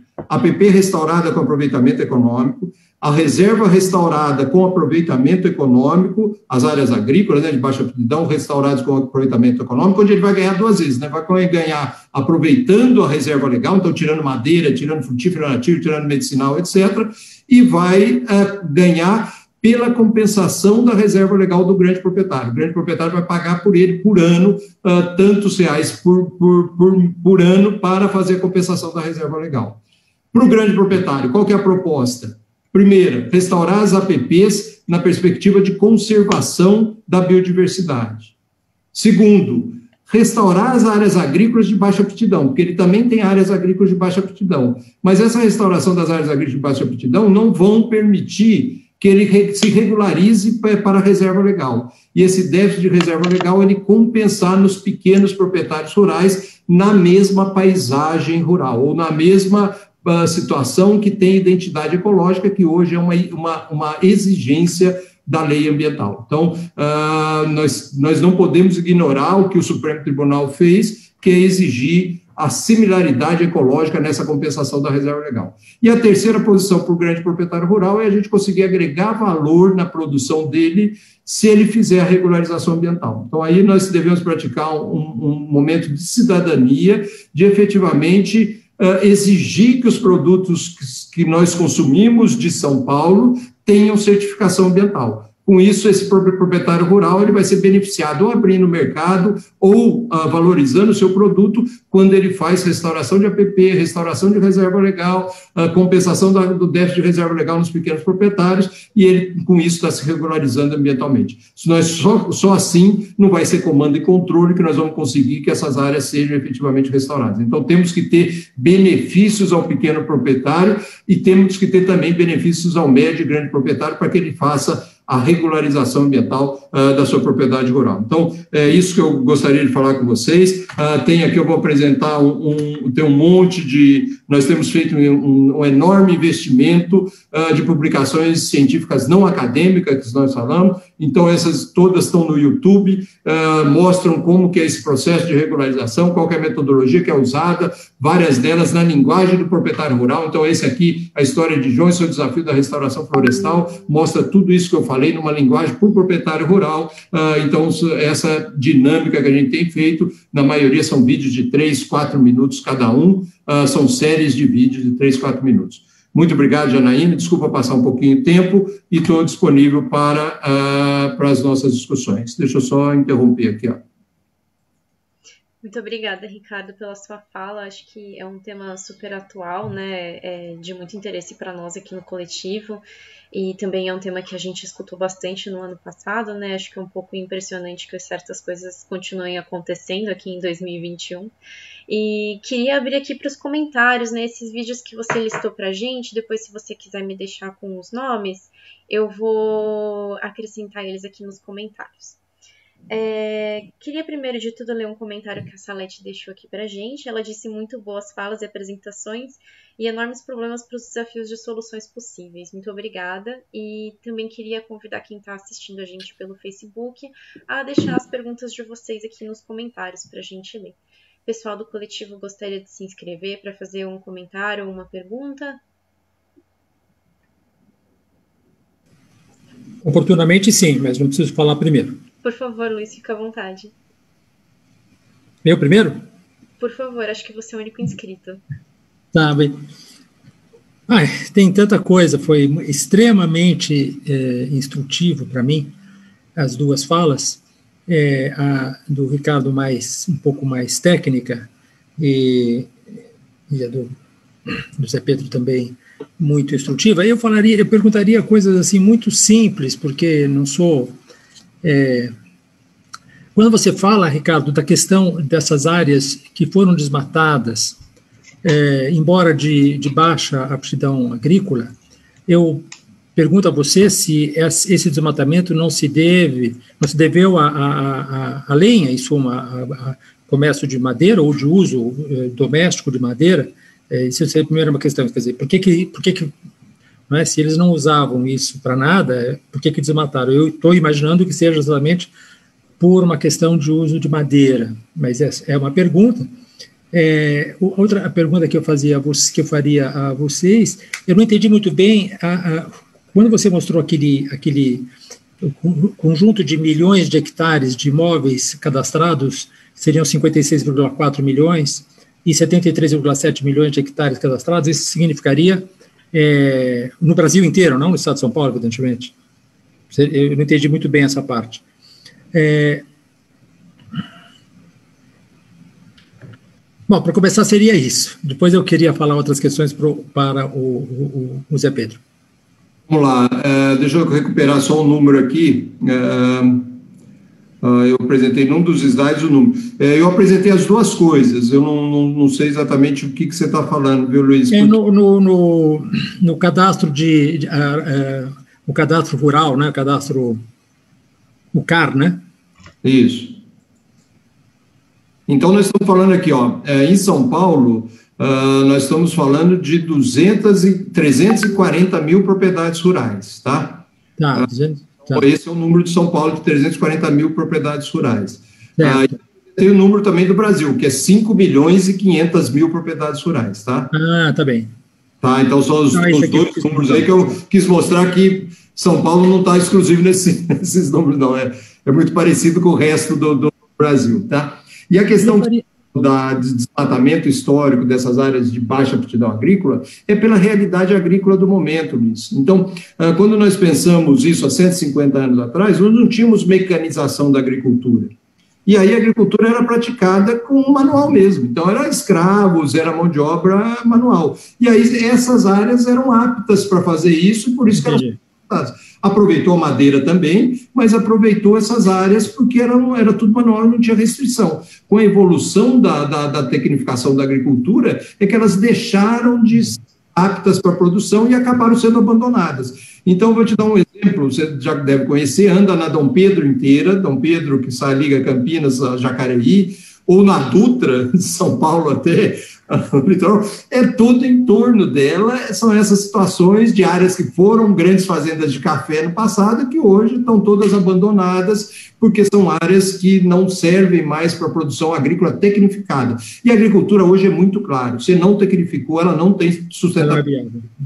Então, essa é uma vantagem é, em termos de abandono de área, é uma desvantagem em termos de questão social, de emprego, etc., mas é, é a realidade histórica de São Paulo. Tá? Então, o que nós não podemos é, é permitir que essas áreas continuem sendo mal utilizadas.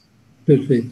Então, Agora, é isso que mais... Podemos, porque aí nós estamos condicionando esses pequenos proprietários à marginalidade total. Tá. Agora, só uma coisa, você falou que o déficit de, de, das APPs seria de 1 milhão 135 mil uh, hectares, quer dizer, 11 mil quilômetros quadrados. É pouquinho, não, não é muito. Um estado de 248 mil é. quilômetros quadrados. Não, não é. É, é pouca área. É, mas você pensa o seguinte: nós temos. Uh, isso é, por exemplo, um terço da cana-de-açúcar que tem em São Paulo. Ah, então. Ele não é tão pouco Tem assim. Impacto, é. então, é, é, é, um baita desafio. E a gente tem defendido isso, viu? Isso é uma questão que eu acabei não falando, uh, mas nós estamos com um levantamento, uh, isso acabou até saindo naquela reportagem do, do, do, do Instituto Terra na, no, no, Fantástico, que é a questão da, da restauração ser um belíssimo instrumento de geração de trabalho e renda. Então, o Brasil, e principalmente São Paulo, poderia pegar essa, essa questão da aplicação do Código Florestal agora uh, para, inclusive, para a recuperação econômica, porque uh, a restauração, toda a cadeia da restauração, na coleta de semente, produção de mudas, produção em restauração envolve muita mão de obra, inclusive com, com questão de gênero. Então, por exemplo, no viveiro, a melhor mão de obra é feminina, não tem nenhuma dúvida. Então, isso permitiria uma boa a, a geração de trabalho e renda com restauração, se a questão ambiental fosse efetivamente definida como uma, uma política pública clara do Estado de São Paulo, sem ficar todo o tempo tentando dar rasteira na legislação ambiental. Obrigado, Obrigado Ricardo. É, eu só falei, perguntaria uma coisinha para o Zé Pedro, antes de, de encerrar. É, Zé Pedro, eu queria que você dissesse um pouquinho sobre. Quer dizer, eu, tá, é, eu vejo que há uma, aquela, aquela faixa litorânea, né, do estado de São Paulo, que vai até Rio de Janeiro, até a, a, a divisa com o Paraná, que é exatamente aquela área que, portanto, exatamente por baixa aptidão é, agrícola, ficou muito mais é, reservada, preservada, etc. Mas aparentemente, pelo que eu li recentemente, os mangues estão com problemas muito graves. Quer dizer, eu não sei se isso se deve a questões de uh, ocupação econômica. Quer dizer, eu estava lendo sobre o mangue de Iguape, mas havia outros também, que estavam muito, muito depredados, completamente degradados, etc, etc. E a segunda coisa que eu queria conversar com você é se você pudesse nos informar sobre qual foi o destino daquela sua tentativa fantástica de uh, uma área de conservação, não me lembro se era de preservação permanente, ou é, acima da cota mil da Mantiqueira. Ok, Luiz, uh, obrigado das perguntas. Eu só queria complementar alguma coisa ainda da fala anterior. Uh, concordo com tudo que o Ricardo colocou, mas um dos elementos que perdura ainda de destruição de mata, especialmente em áreas de pouca aptidão, é a confecção de carvão. Eu mesmo vi na Mantiqueira muitas áreas sendo transformadas em carvão para abastecer siderúrgicas, como Volta Redonda. Então, assim, florestas primárias certo? Mesmo que não sejam florestas muito frondosas, sendo destruídas. Isso em Minas Gerais, principalmente no norte de Minas Gerais, ainda continua sendo um elemento principal de destruição de áreas prioritárias para a preservação. Sendo que é ressalvado lembrar que se você tem um crescimento da regeneração e uma diminuição do desmatamento, uma área regenerada, sob o aspecto biótico, nunca terá a mesma qualidade que uma área primária, porque a área primária jamais se recuperará, ainda mais com mudanças climáticas. Existem casos de florestas capoeiras de mais de 200 anos que praticamente têm as mesmas condições da floresta nativa, se assemelham muito, não é exatamente igual, mas uh, tem um valor incrível. Porém, uh, isso são as exceções. Então, uh, não desmatar aquilo que é primário continua, infelizmente, acontecendo em São Paulo e no Brasil de forma escandalosa, certo? São Paulo só não é maior porque a maior parte já foi destruída. E grande parte dessas áreas estão em áreas protegidas também. É preciso ressaltar que o estado de São Paulo é um estado uh, que uh, tem mais, uh, digamos, trabalho, é onde existem as maiores remanescentes de Mata Atlântica, porque também existe uma intenção e uma capacidade de execução maior. Quanto aos mangues, historicamente, eles eram fundamentais para abastecer as fornalhas da cana-de-açúcar, ou seja, da, da, construção do açúcar. O mangue seco é palha, certo? É uma coisa que você, precisando fazer o rescaldo final, uh, para você ter o ponto uh, da garapa, o ponto em que você ia ter o açúcar na densidade para ser jogado nos pães de açúcar, sabe? que eram onde eram armazenados o açúcar ainda mascavo, é, você precisava de um fogo muito forte, então os manguezais, ah, desde o século XVI, foram cortados e, e houve até, é, no século XVII ainda, legislação portuguesa proibindo o corte dos mangues porque eles tinham uma utilidade para várias outras coisas. Mas a principal função do mangue que sempre foi considerado até muito recentemente como uma área fedorenta e pestilenta, certo? É o lugar principal de recuperação, eh, de, de reprodução da vida marinha, certo? E a principal destruição que acontece no litoral de São Paulo uh, foi, em primeiro lugar, a expansão turística, ou seja, uma área de mangue numa área continuidade de uma planície costeira, aterrada vale um bom dinheiro, então o loteamento vai aterrando o mangue. Segundo, que as pessoas achavam que ter o mangue perto era realmente uma coisa depreciativa. Então, aterrar o mangue para plantar plantinha europeia, roseiras e outras coisas, era um costume cultural. E, uh, obviamente, que em torno do Porto de Santos, a poluição de Cubatão foi um elemento, e é um elemento grande destruidor do mangue, certo? Na região de Iguape, onde existe uma concentração de mangue muito grande, existe uma preocupação já antiga tem vários outros fatores que levam a questão a ser uh, realmente de grande preocupação. Mas lá existe também a maior conservação de mangues do estado de São Paulo. Essa região Lagamar, Canané e Iguape, que vai até Paranaguá, é uma região extremamente preciosa, reconhecida como sítio Ramsar, uh, como área úmida de extrema importância, e reconhecida como patrimônio mundial pela Unesco, ou seja, patrimônio mundial natural, que leva a que esse conjunto mereceria uh, uma atenção maior. Mas mesmo assim é uma, é uma defesa, apesar de que uh, não há atenção devida. Com relação à Mantiqueira, existe uma série de iniciativas. Eu mencionei aqui a criação uh, de um monumento natural, que é uma área de proteção integral, na região de Cruzeiro, um dos monumentos mais dos, dos pontos mais lindos, que é uh, justamente o Pico dos Marins. Então isso aconteceu, aconteceu lá também um grande fogo há cerca de cinco anos atrás, e existe a necessidade de que haja um corredor de proteção integral entre Campos do Jordão, ou entre São Francisco Xavier e o Parque do Itatiaia. Isso que você nos ajudou a lutar, etc. e tal, Começou há 10 anos atrás com a proposta de criação de um parque nacional, que foi grandemente sabotado pelos proprietários. A grande, uh, a maior das preocupações é a expansão uh, de loteamentos de especulação imobiliária a partir de Campos do Jordão. Uh, existe isso em Minas Gerais também, em Gonçalves, em São Bento do Sapucaí e nas outras cidades que têm sede na, na Baixada do Vale do Paraíba. Uh, o que está se conseguindo depois de se tentar esse parque nacional, se buscou o tombamento e os próprios prefeitos foram contra, porque o Condefat uh, não foi, foi rejeitado pelos prefeitos. O Conselho do Patrimônio Histórico está hoje muito abatido, foi devastado por decretos tanto do, do Alckmin quanto decretos agora recentes do Dória e foi transformado quase que num um objeto decorativo, ele não tem mais o poder que teve no passado. Ah, nós tivemos no passado, com o Montoro, o tombamento de toda a Serra do Mar, 1 milhão e 300 mil hectares, formando um conjunto que tem sido, e é preciso agradecer ao Condefat nesse aspecto, certo? de extrema importância para proteger esse conjunto, porque vai além fisicamente das áreas que são apenas áreas protegidas ou áreas de APPI, etc. E tal.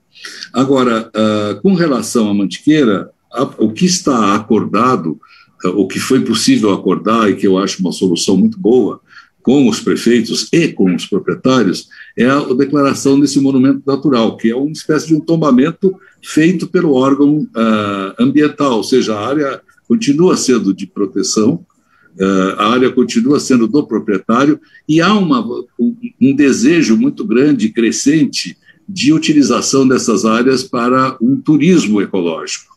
Ou seja, já existe claramente, quer dizer, a própria cidade de Campos do Jordão, certo? E outras, certo? São exemplos claros de área onde ah, o interesse do turismo com a proteção da natureza valoriza a área. Mas o Estado anda devagar enquanto a destruição, o Estado, eu brinco, digo para todos, o Estado anda numa robiseta e a destruição anda jato. Então, assim, a velocidade é muito baixa. É preciso que se acelere e os, e os instrumentos existem. Então, existe essa cobrança. Apesar de existir grandes companheiros nossos, trabalho no Estado, eu me considero um servidor estadual, que fiz isso a vida inteira, estadual e federal, mas uh, o conjunto das coisas, certo? A definição uh, das lideranças, a definição dos principais gestores, governadores, secretários, não, uh, não dão atenção a isso. Obrigado.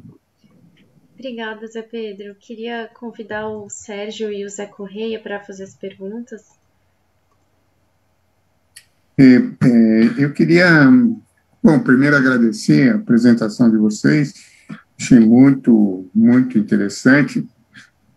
Eu tinha três perguntas, na verdade, não, não são nem é, não estão diretamente ligadas à apresentação, mas uma delas, um pouco mais, que o Zé Pedro começou a responder aqui, minha dúvida em relação à, à restauração dessas áreas degradadas. É, eu conheço algumas regiões da Mantiqueira que, que tinham é, que tinham sido ocupadas durante muito tempo pela, pela pecuária e que hoje é, são floresta, quer dizer, floresta, são, tem mata, né? sem intervenção humana. Então, eu queria saber um pouco isso, quer dizer, tem lugares que precisa da intervenção humana, tem lugares que é só deixar ela, a floresta volta ou a mata volta, e se é isso que a gente está pensando com relação a, a, a restauração. A segunda questão, para qualquer um eh, dos dois, a segunda é mais uma dúvida. A, a, a UPA, é, qual o papel da UPA, né, da, essa unidade de proteção ambiental? Ela, em relação a, a, a outros é, mecanismos de proteção, né, ela é só definidora do tamanho das áreas, ela é, como é que ela se comporta em relação às, às outras questões é, que estão aí no, no Código Florestal e de proteção de uma maneira geral.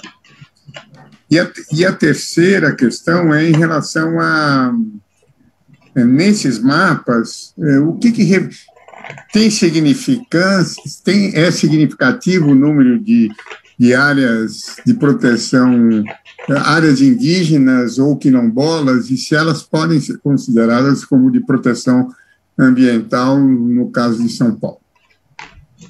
Obrigado.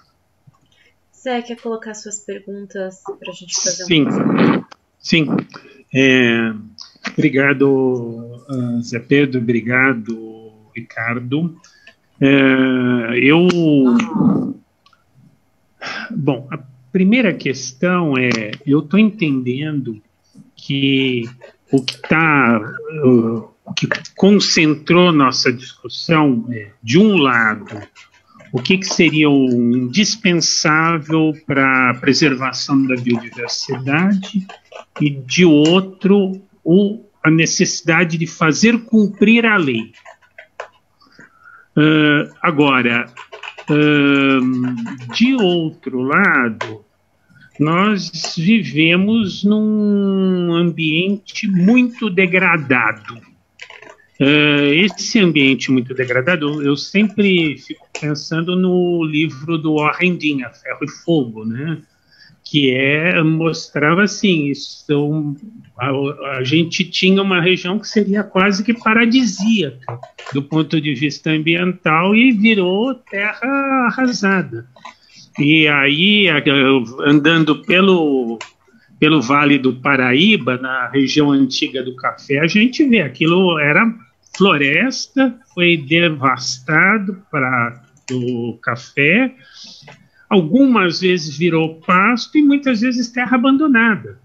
Uh, então, assim, poderia ser eventualmente reflorestado, para além de cumprir, reflorestado que eu digo, voltar a ser mata com, com espécies nativas, não para reflorestamento de, uh, de eucalipto, mas, uh, mas isso não é um cumprir a lei simplesmente. Isso seria uma política, na verdade, de restauração ampla, restauração ecológica ampla.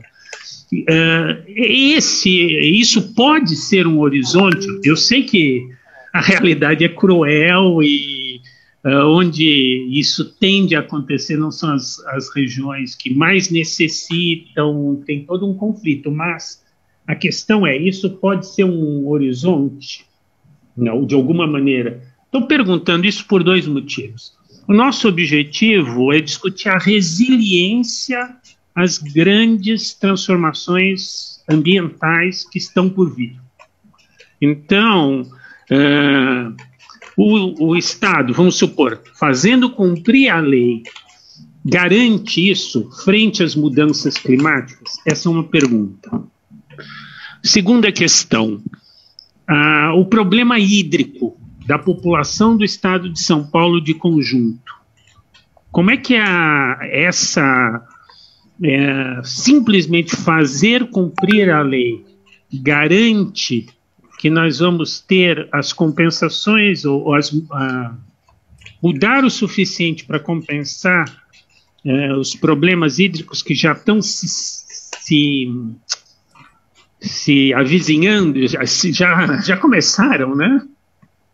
Uhum. A terceira questão é, é, mais de modelo de desenvolvimento mesmo, porque eu entendi assim: nós temos cana altamente tecnificada, temos pecuária, que eu estou entendendo que não é a pecuária de ponta em geral, me corrijam se eu estiver errado, mas é pecuária às vezes para ocupar terras agrícolas abandonadas, que não tem, uh, me parece que em alguns casos pelo menos não tem sentido econômico, e seria possível apontar a agroecologia como alternativa? Isso tem alguma viabilidade econômica? A gente ouve falar muito de agroecologia, mas eu queria, eh, digamos, ouvir isso de vocês, porque emerge como proposta toda vez que a gente vai discutir e acho que é interessante colocar na roda. É isso, eu sei que as questões não são exatamente fáceis de responder, mas muito obrigado. Posso começar, Zé? Não, eu acho que vale a pena. Você está bem provocado, eu também, mas você mais. é, eu vou deixar um monte de coisa aqui para você. Mas uma das questões que o Zé Pedro falou, uh, e eu acho que isso precisa ser muito reforçado, uh, São Paulo hoje, pelo menos uh, nós estamos há algum tempo com um desmatamento menor que, que a, a, aparecimento de novas florestas, é essa questão uh, da restauração ser usada, e ela é usada muitas vezes, como uh, justificativa para o desmatamento. Isso não pode acontecer nunca, porque nenhuma restauração, o Zé, o Pedro falou, tem exceções, não tem exceções, a restauração nunca vai chegar perto de um fragmento remanescente, de um fragmento natural. Isso em todos os sentidos, provimento serviço ecossistema, biodiversidade, etc. A restauração só tem sentido uh, quando nós comparamos ela em relação à área degradada. Então, áreas históricas degradadas, certamente a restauração vai fazer um papel muito melhor do que uh, a, a, manutenção da área degradada. Mas, quando comparado com fragmento, de jeito nenhum. Então, essa é uma questão muito forte. A restauração ela tem que ser complementar à conservação, inclusive para melhorar a questão da conservação. Então, uh, permitir restauração de corredores ecológicos, interligando fragmentos da paisagem, etc., tudo mais. Então, essa é a primeira questão que eu gostaria de deixar claro: restauração não pode nunca ser usada como justificativa de desmatamento. A segunda questão que o Sérgio colocou, até te agradeço, Sérgio, é, ela é muito forte, é, porque é, vamos pensar o seguinte, Sérgio, que eu vou te dar de exemplo, vamos ver se você consegue acompanhar meu raciocínio. As áreas agrícolas é, que não foram muito tecnificadas historicamente, o que, que eu estou falando de tecnificadas? Não foi o solo não foi muito revolvido com maquinário, não foi aplicado herbicida pré-emergente, não foi aplicado herbicida pós-emergente, não foi aplicado fogo regularmente como estratégia de manejo, etc. Ela geralmente tem o que nós chamamos, chamamos de resiliência, isso que, que o Zé falou, de potencial de recuperação natural. A pergunta que eu te faço: as terras da agroindústria da cana, da pastagem tecnificada, tem essa característica? De não.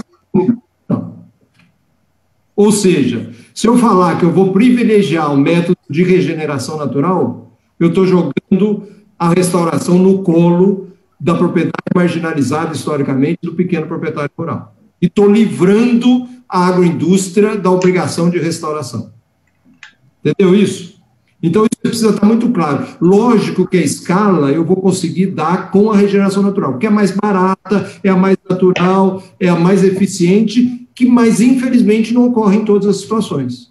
Então, uma área de cana que na, na APP ou na reserva legal foi se largar ela, tinha até uma foto aqui, não deu tempo de mostrar, tem área de cana abandonada que há 10 anos continua cana velha que vai aumentar agora o custo da restauração em 30% para tirar a cana velha para pôr espécie nativa. Então, isso é importante a gente entender.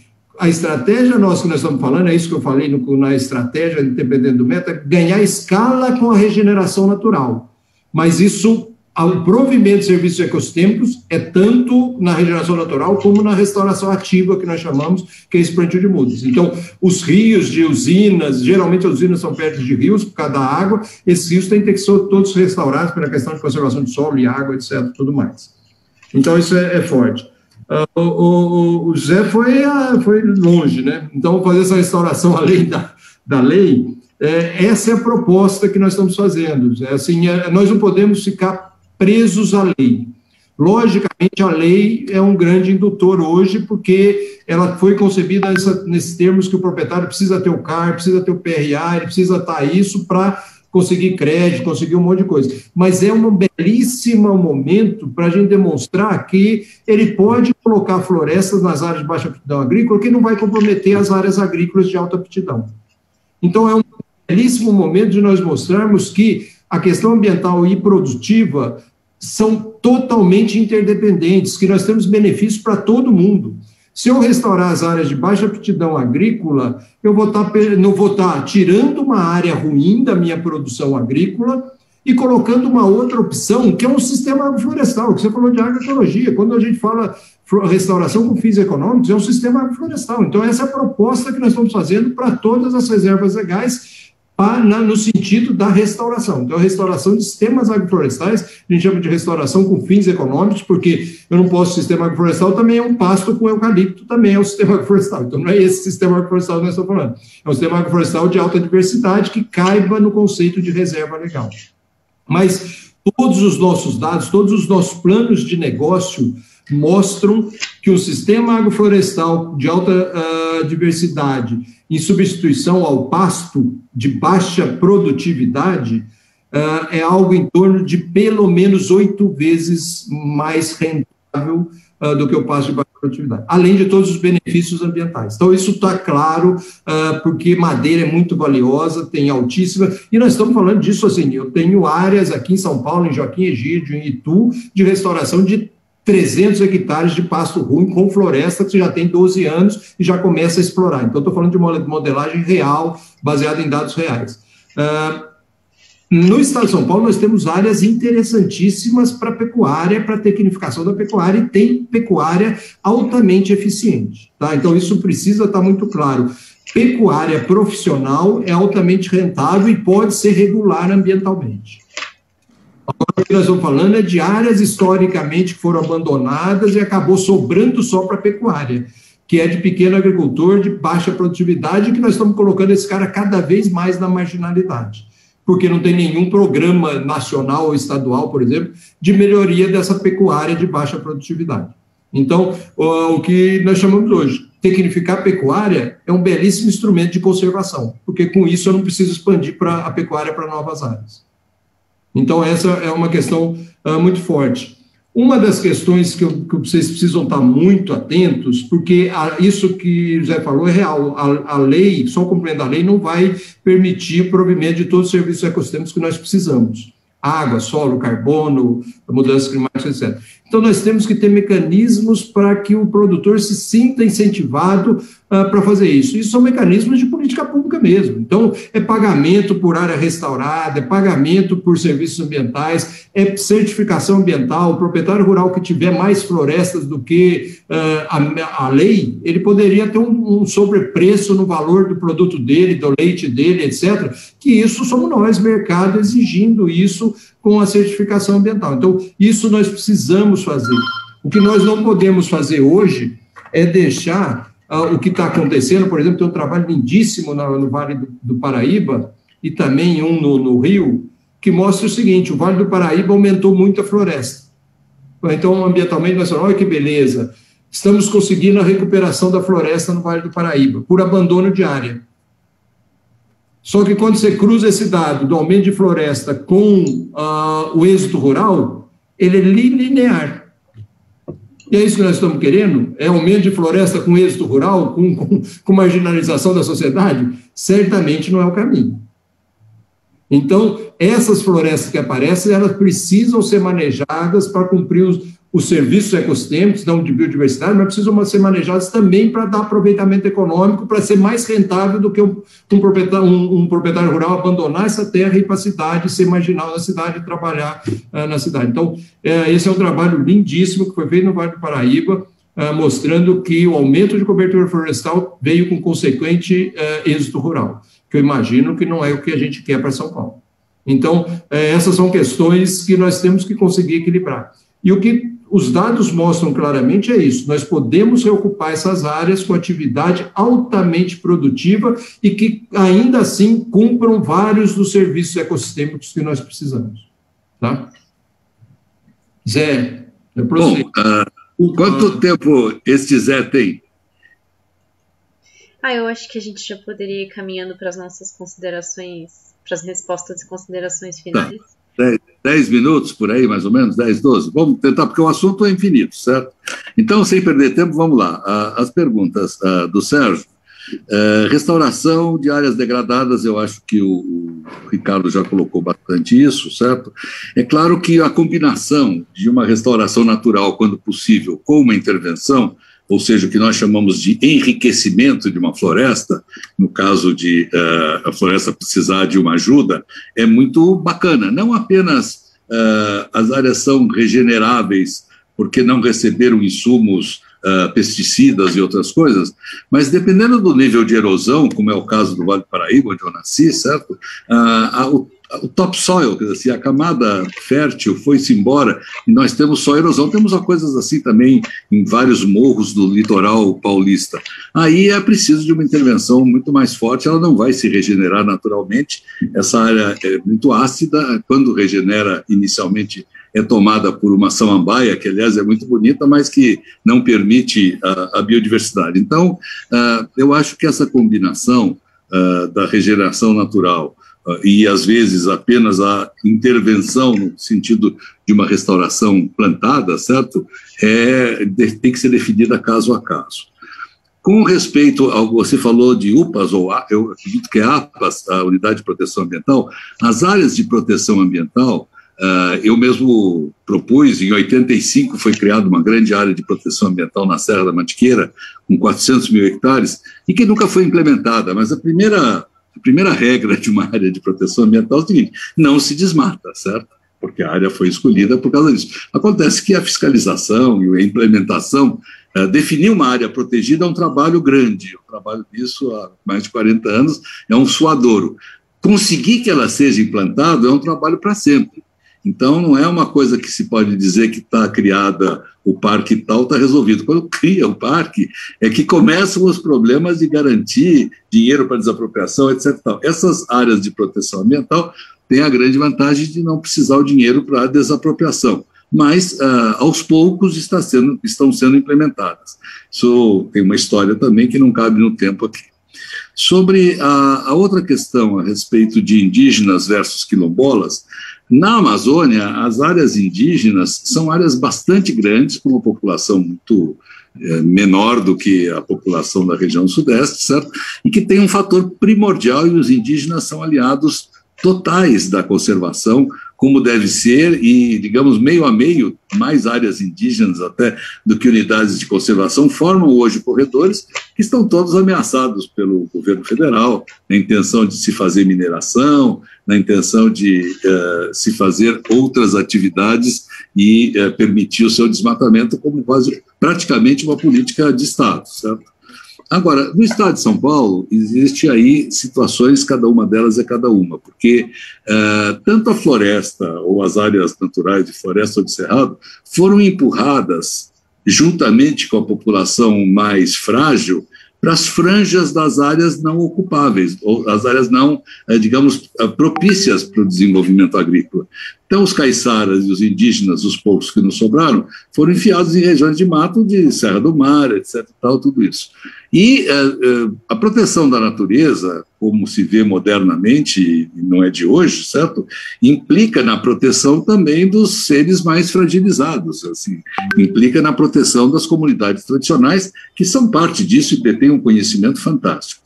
Ocorre que sempre há exceções, como, por exemplo, na Pissinguaba, o único lugar onde o Parque da Serra do Mar chega até o mar no norte de Ubatuba, tem lá uma, um quilombo sendo instalado que é fruto dos remanescentes dos antigos uh, trabalhadores da região, ou seja, aquilo não era um quilombo tradicional, foram trabalhadores negros, como todos nós temos sangue negro, certo? Uh, uns mais mulatos, outros menos mulatos, certo? E que descobriram que se declarar quilombo era um grande fator, porque eles iam ficar com uma terra que pertence ao Estado para o uso deles. Então, com todo respeito a todos os meus ancestrais africanos, criou-se aí um conceito de quilombo ambulante. O quilombo é onde uma comunidade de negros está. Essa é uma questão que gera conflitos em outros locais também e que precisam ser melhor entendidos, porque há um grupo sociológico que traz índios do Paraguai e põe dentro de áreas protegidas, dentro de parques, como é o caso da Ilha do Cardoso, que não faz o menor sentido, porque eles estão destruindo a fauna que existe lá, e ao mesmo tempo merecem todo o respeito. Então, uh, eu acho que a gente tem que ter uh, uma sabedoria dentro do princípio de que as comunidades tradicionais merecem todo o respeito, certo? Mas a gente tem que ter uma sabedoria de saber e respeitar também um princípio de que é necessário ter áreas sem a presença humana. Eu fiz meu doutorado uh, no estudo de uma área de população tradicional uh, em Minas Gerais, na cidade de Aiuruoca. O pessoal vivendo uma vida integrada com a natureza maravilhosa. Depois tive que vender o terreno que eu tinha lá para poder comprar uma casa aqui, ficou uma areazinha pequena que um vizinho veio, nativo, local, grande amigo, tomava uns pingos no botequim, então, oh, você não quer vender essa área para mim? Faz um preço legal, eu estou precisando expandir para minha família. Eu falei, claro, vou vender para você e tal, tudo isso. Fizemos lá o acordo, vendi. Ah, depois ele era o preposto de um outro turistólogo, de um cara de fora que veio e ocupou a área. Ou seja, a população nativa não é santa, não é milagrosa e não é uma seita certo? Privilegiadas. São seres humanos como nós, certo? Os indígenas são seres humanos e, dada a oportunidade, eles tacam o machado, entendeu? Então, é preciso também que a gente tenha a visão, ah, digamos assim, ah, mais clara e mais objetiva de como é que a gente pode lidar com, com todo o respeito que são colocados. Uh, o Zé Corrêa colocou a questão uh, de fazer uh, a questão de cumprir a lei. Se cumpríssemos a lei, como disse o Ricardo, 70% a 80% do problema estaria resolvido, mas não é mais suficiente.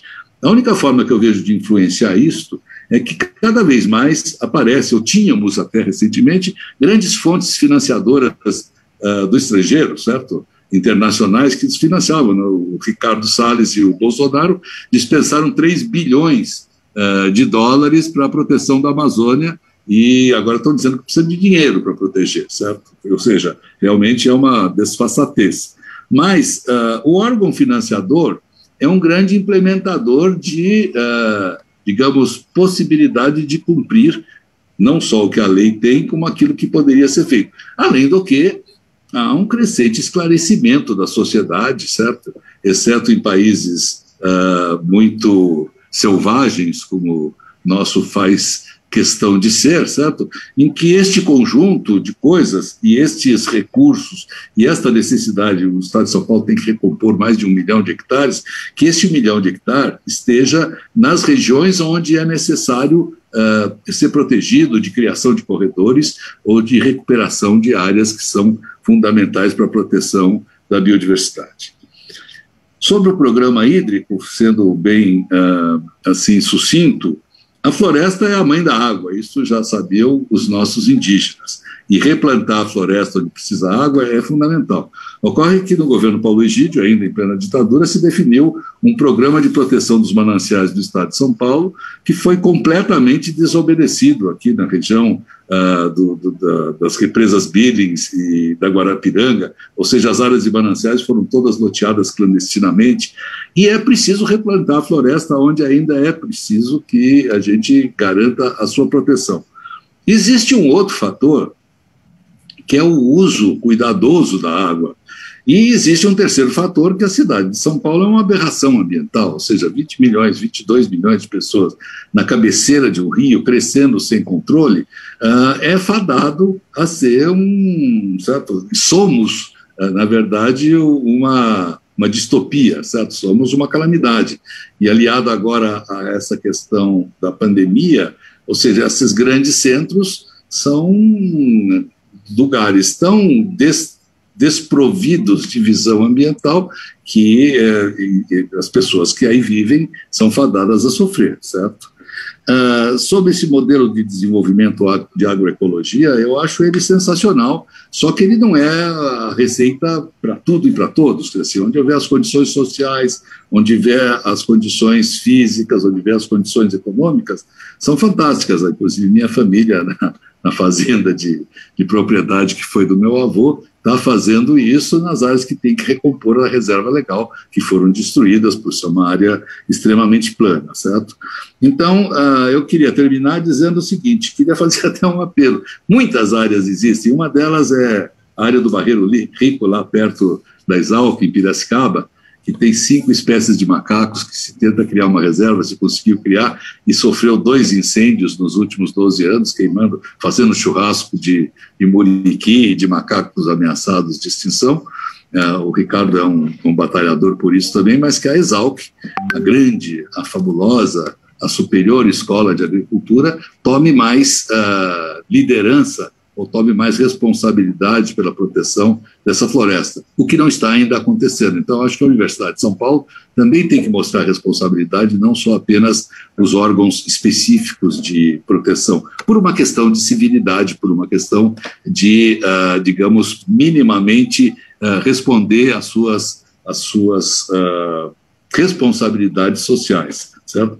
Mas existe, como eu mencionei no começo da minha fala, uma fazenda chamada Cajuru, eh, uma fazenda, aliás, o nome é Cajuru, no município de Cajuru, que detém a maior quantidade e a melhor possibilidade de proteção de uma espécie fabulosa, que é o jequitibá rosa, a maior árvore da Mata Atlântica, a árvore símbolo da Mata Atlântica, e que está há mais de 20 anos esperando de uma ação do Estado que não está acontecendo. Então, que a gente se una e faça uma pressão no sentido de que os proprietários estão dispostos a colaborar, estão fazendo facilidades no sentido de ampliar a área protegida, mas que isso seja realmente implementado. E agradecer a possibilidade de ter estado com vocês.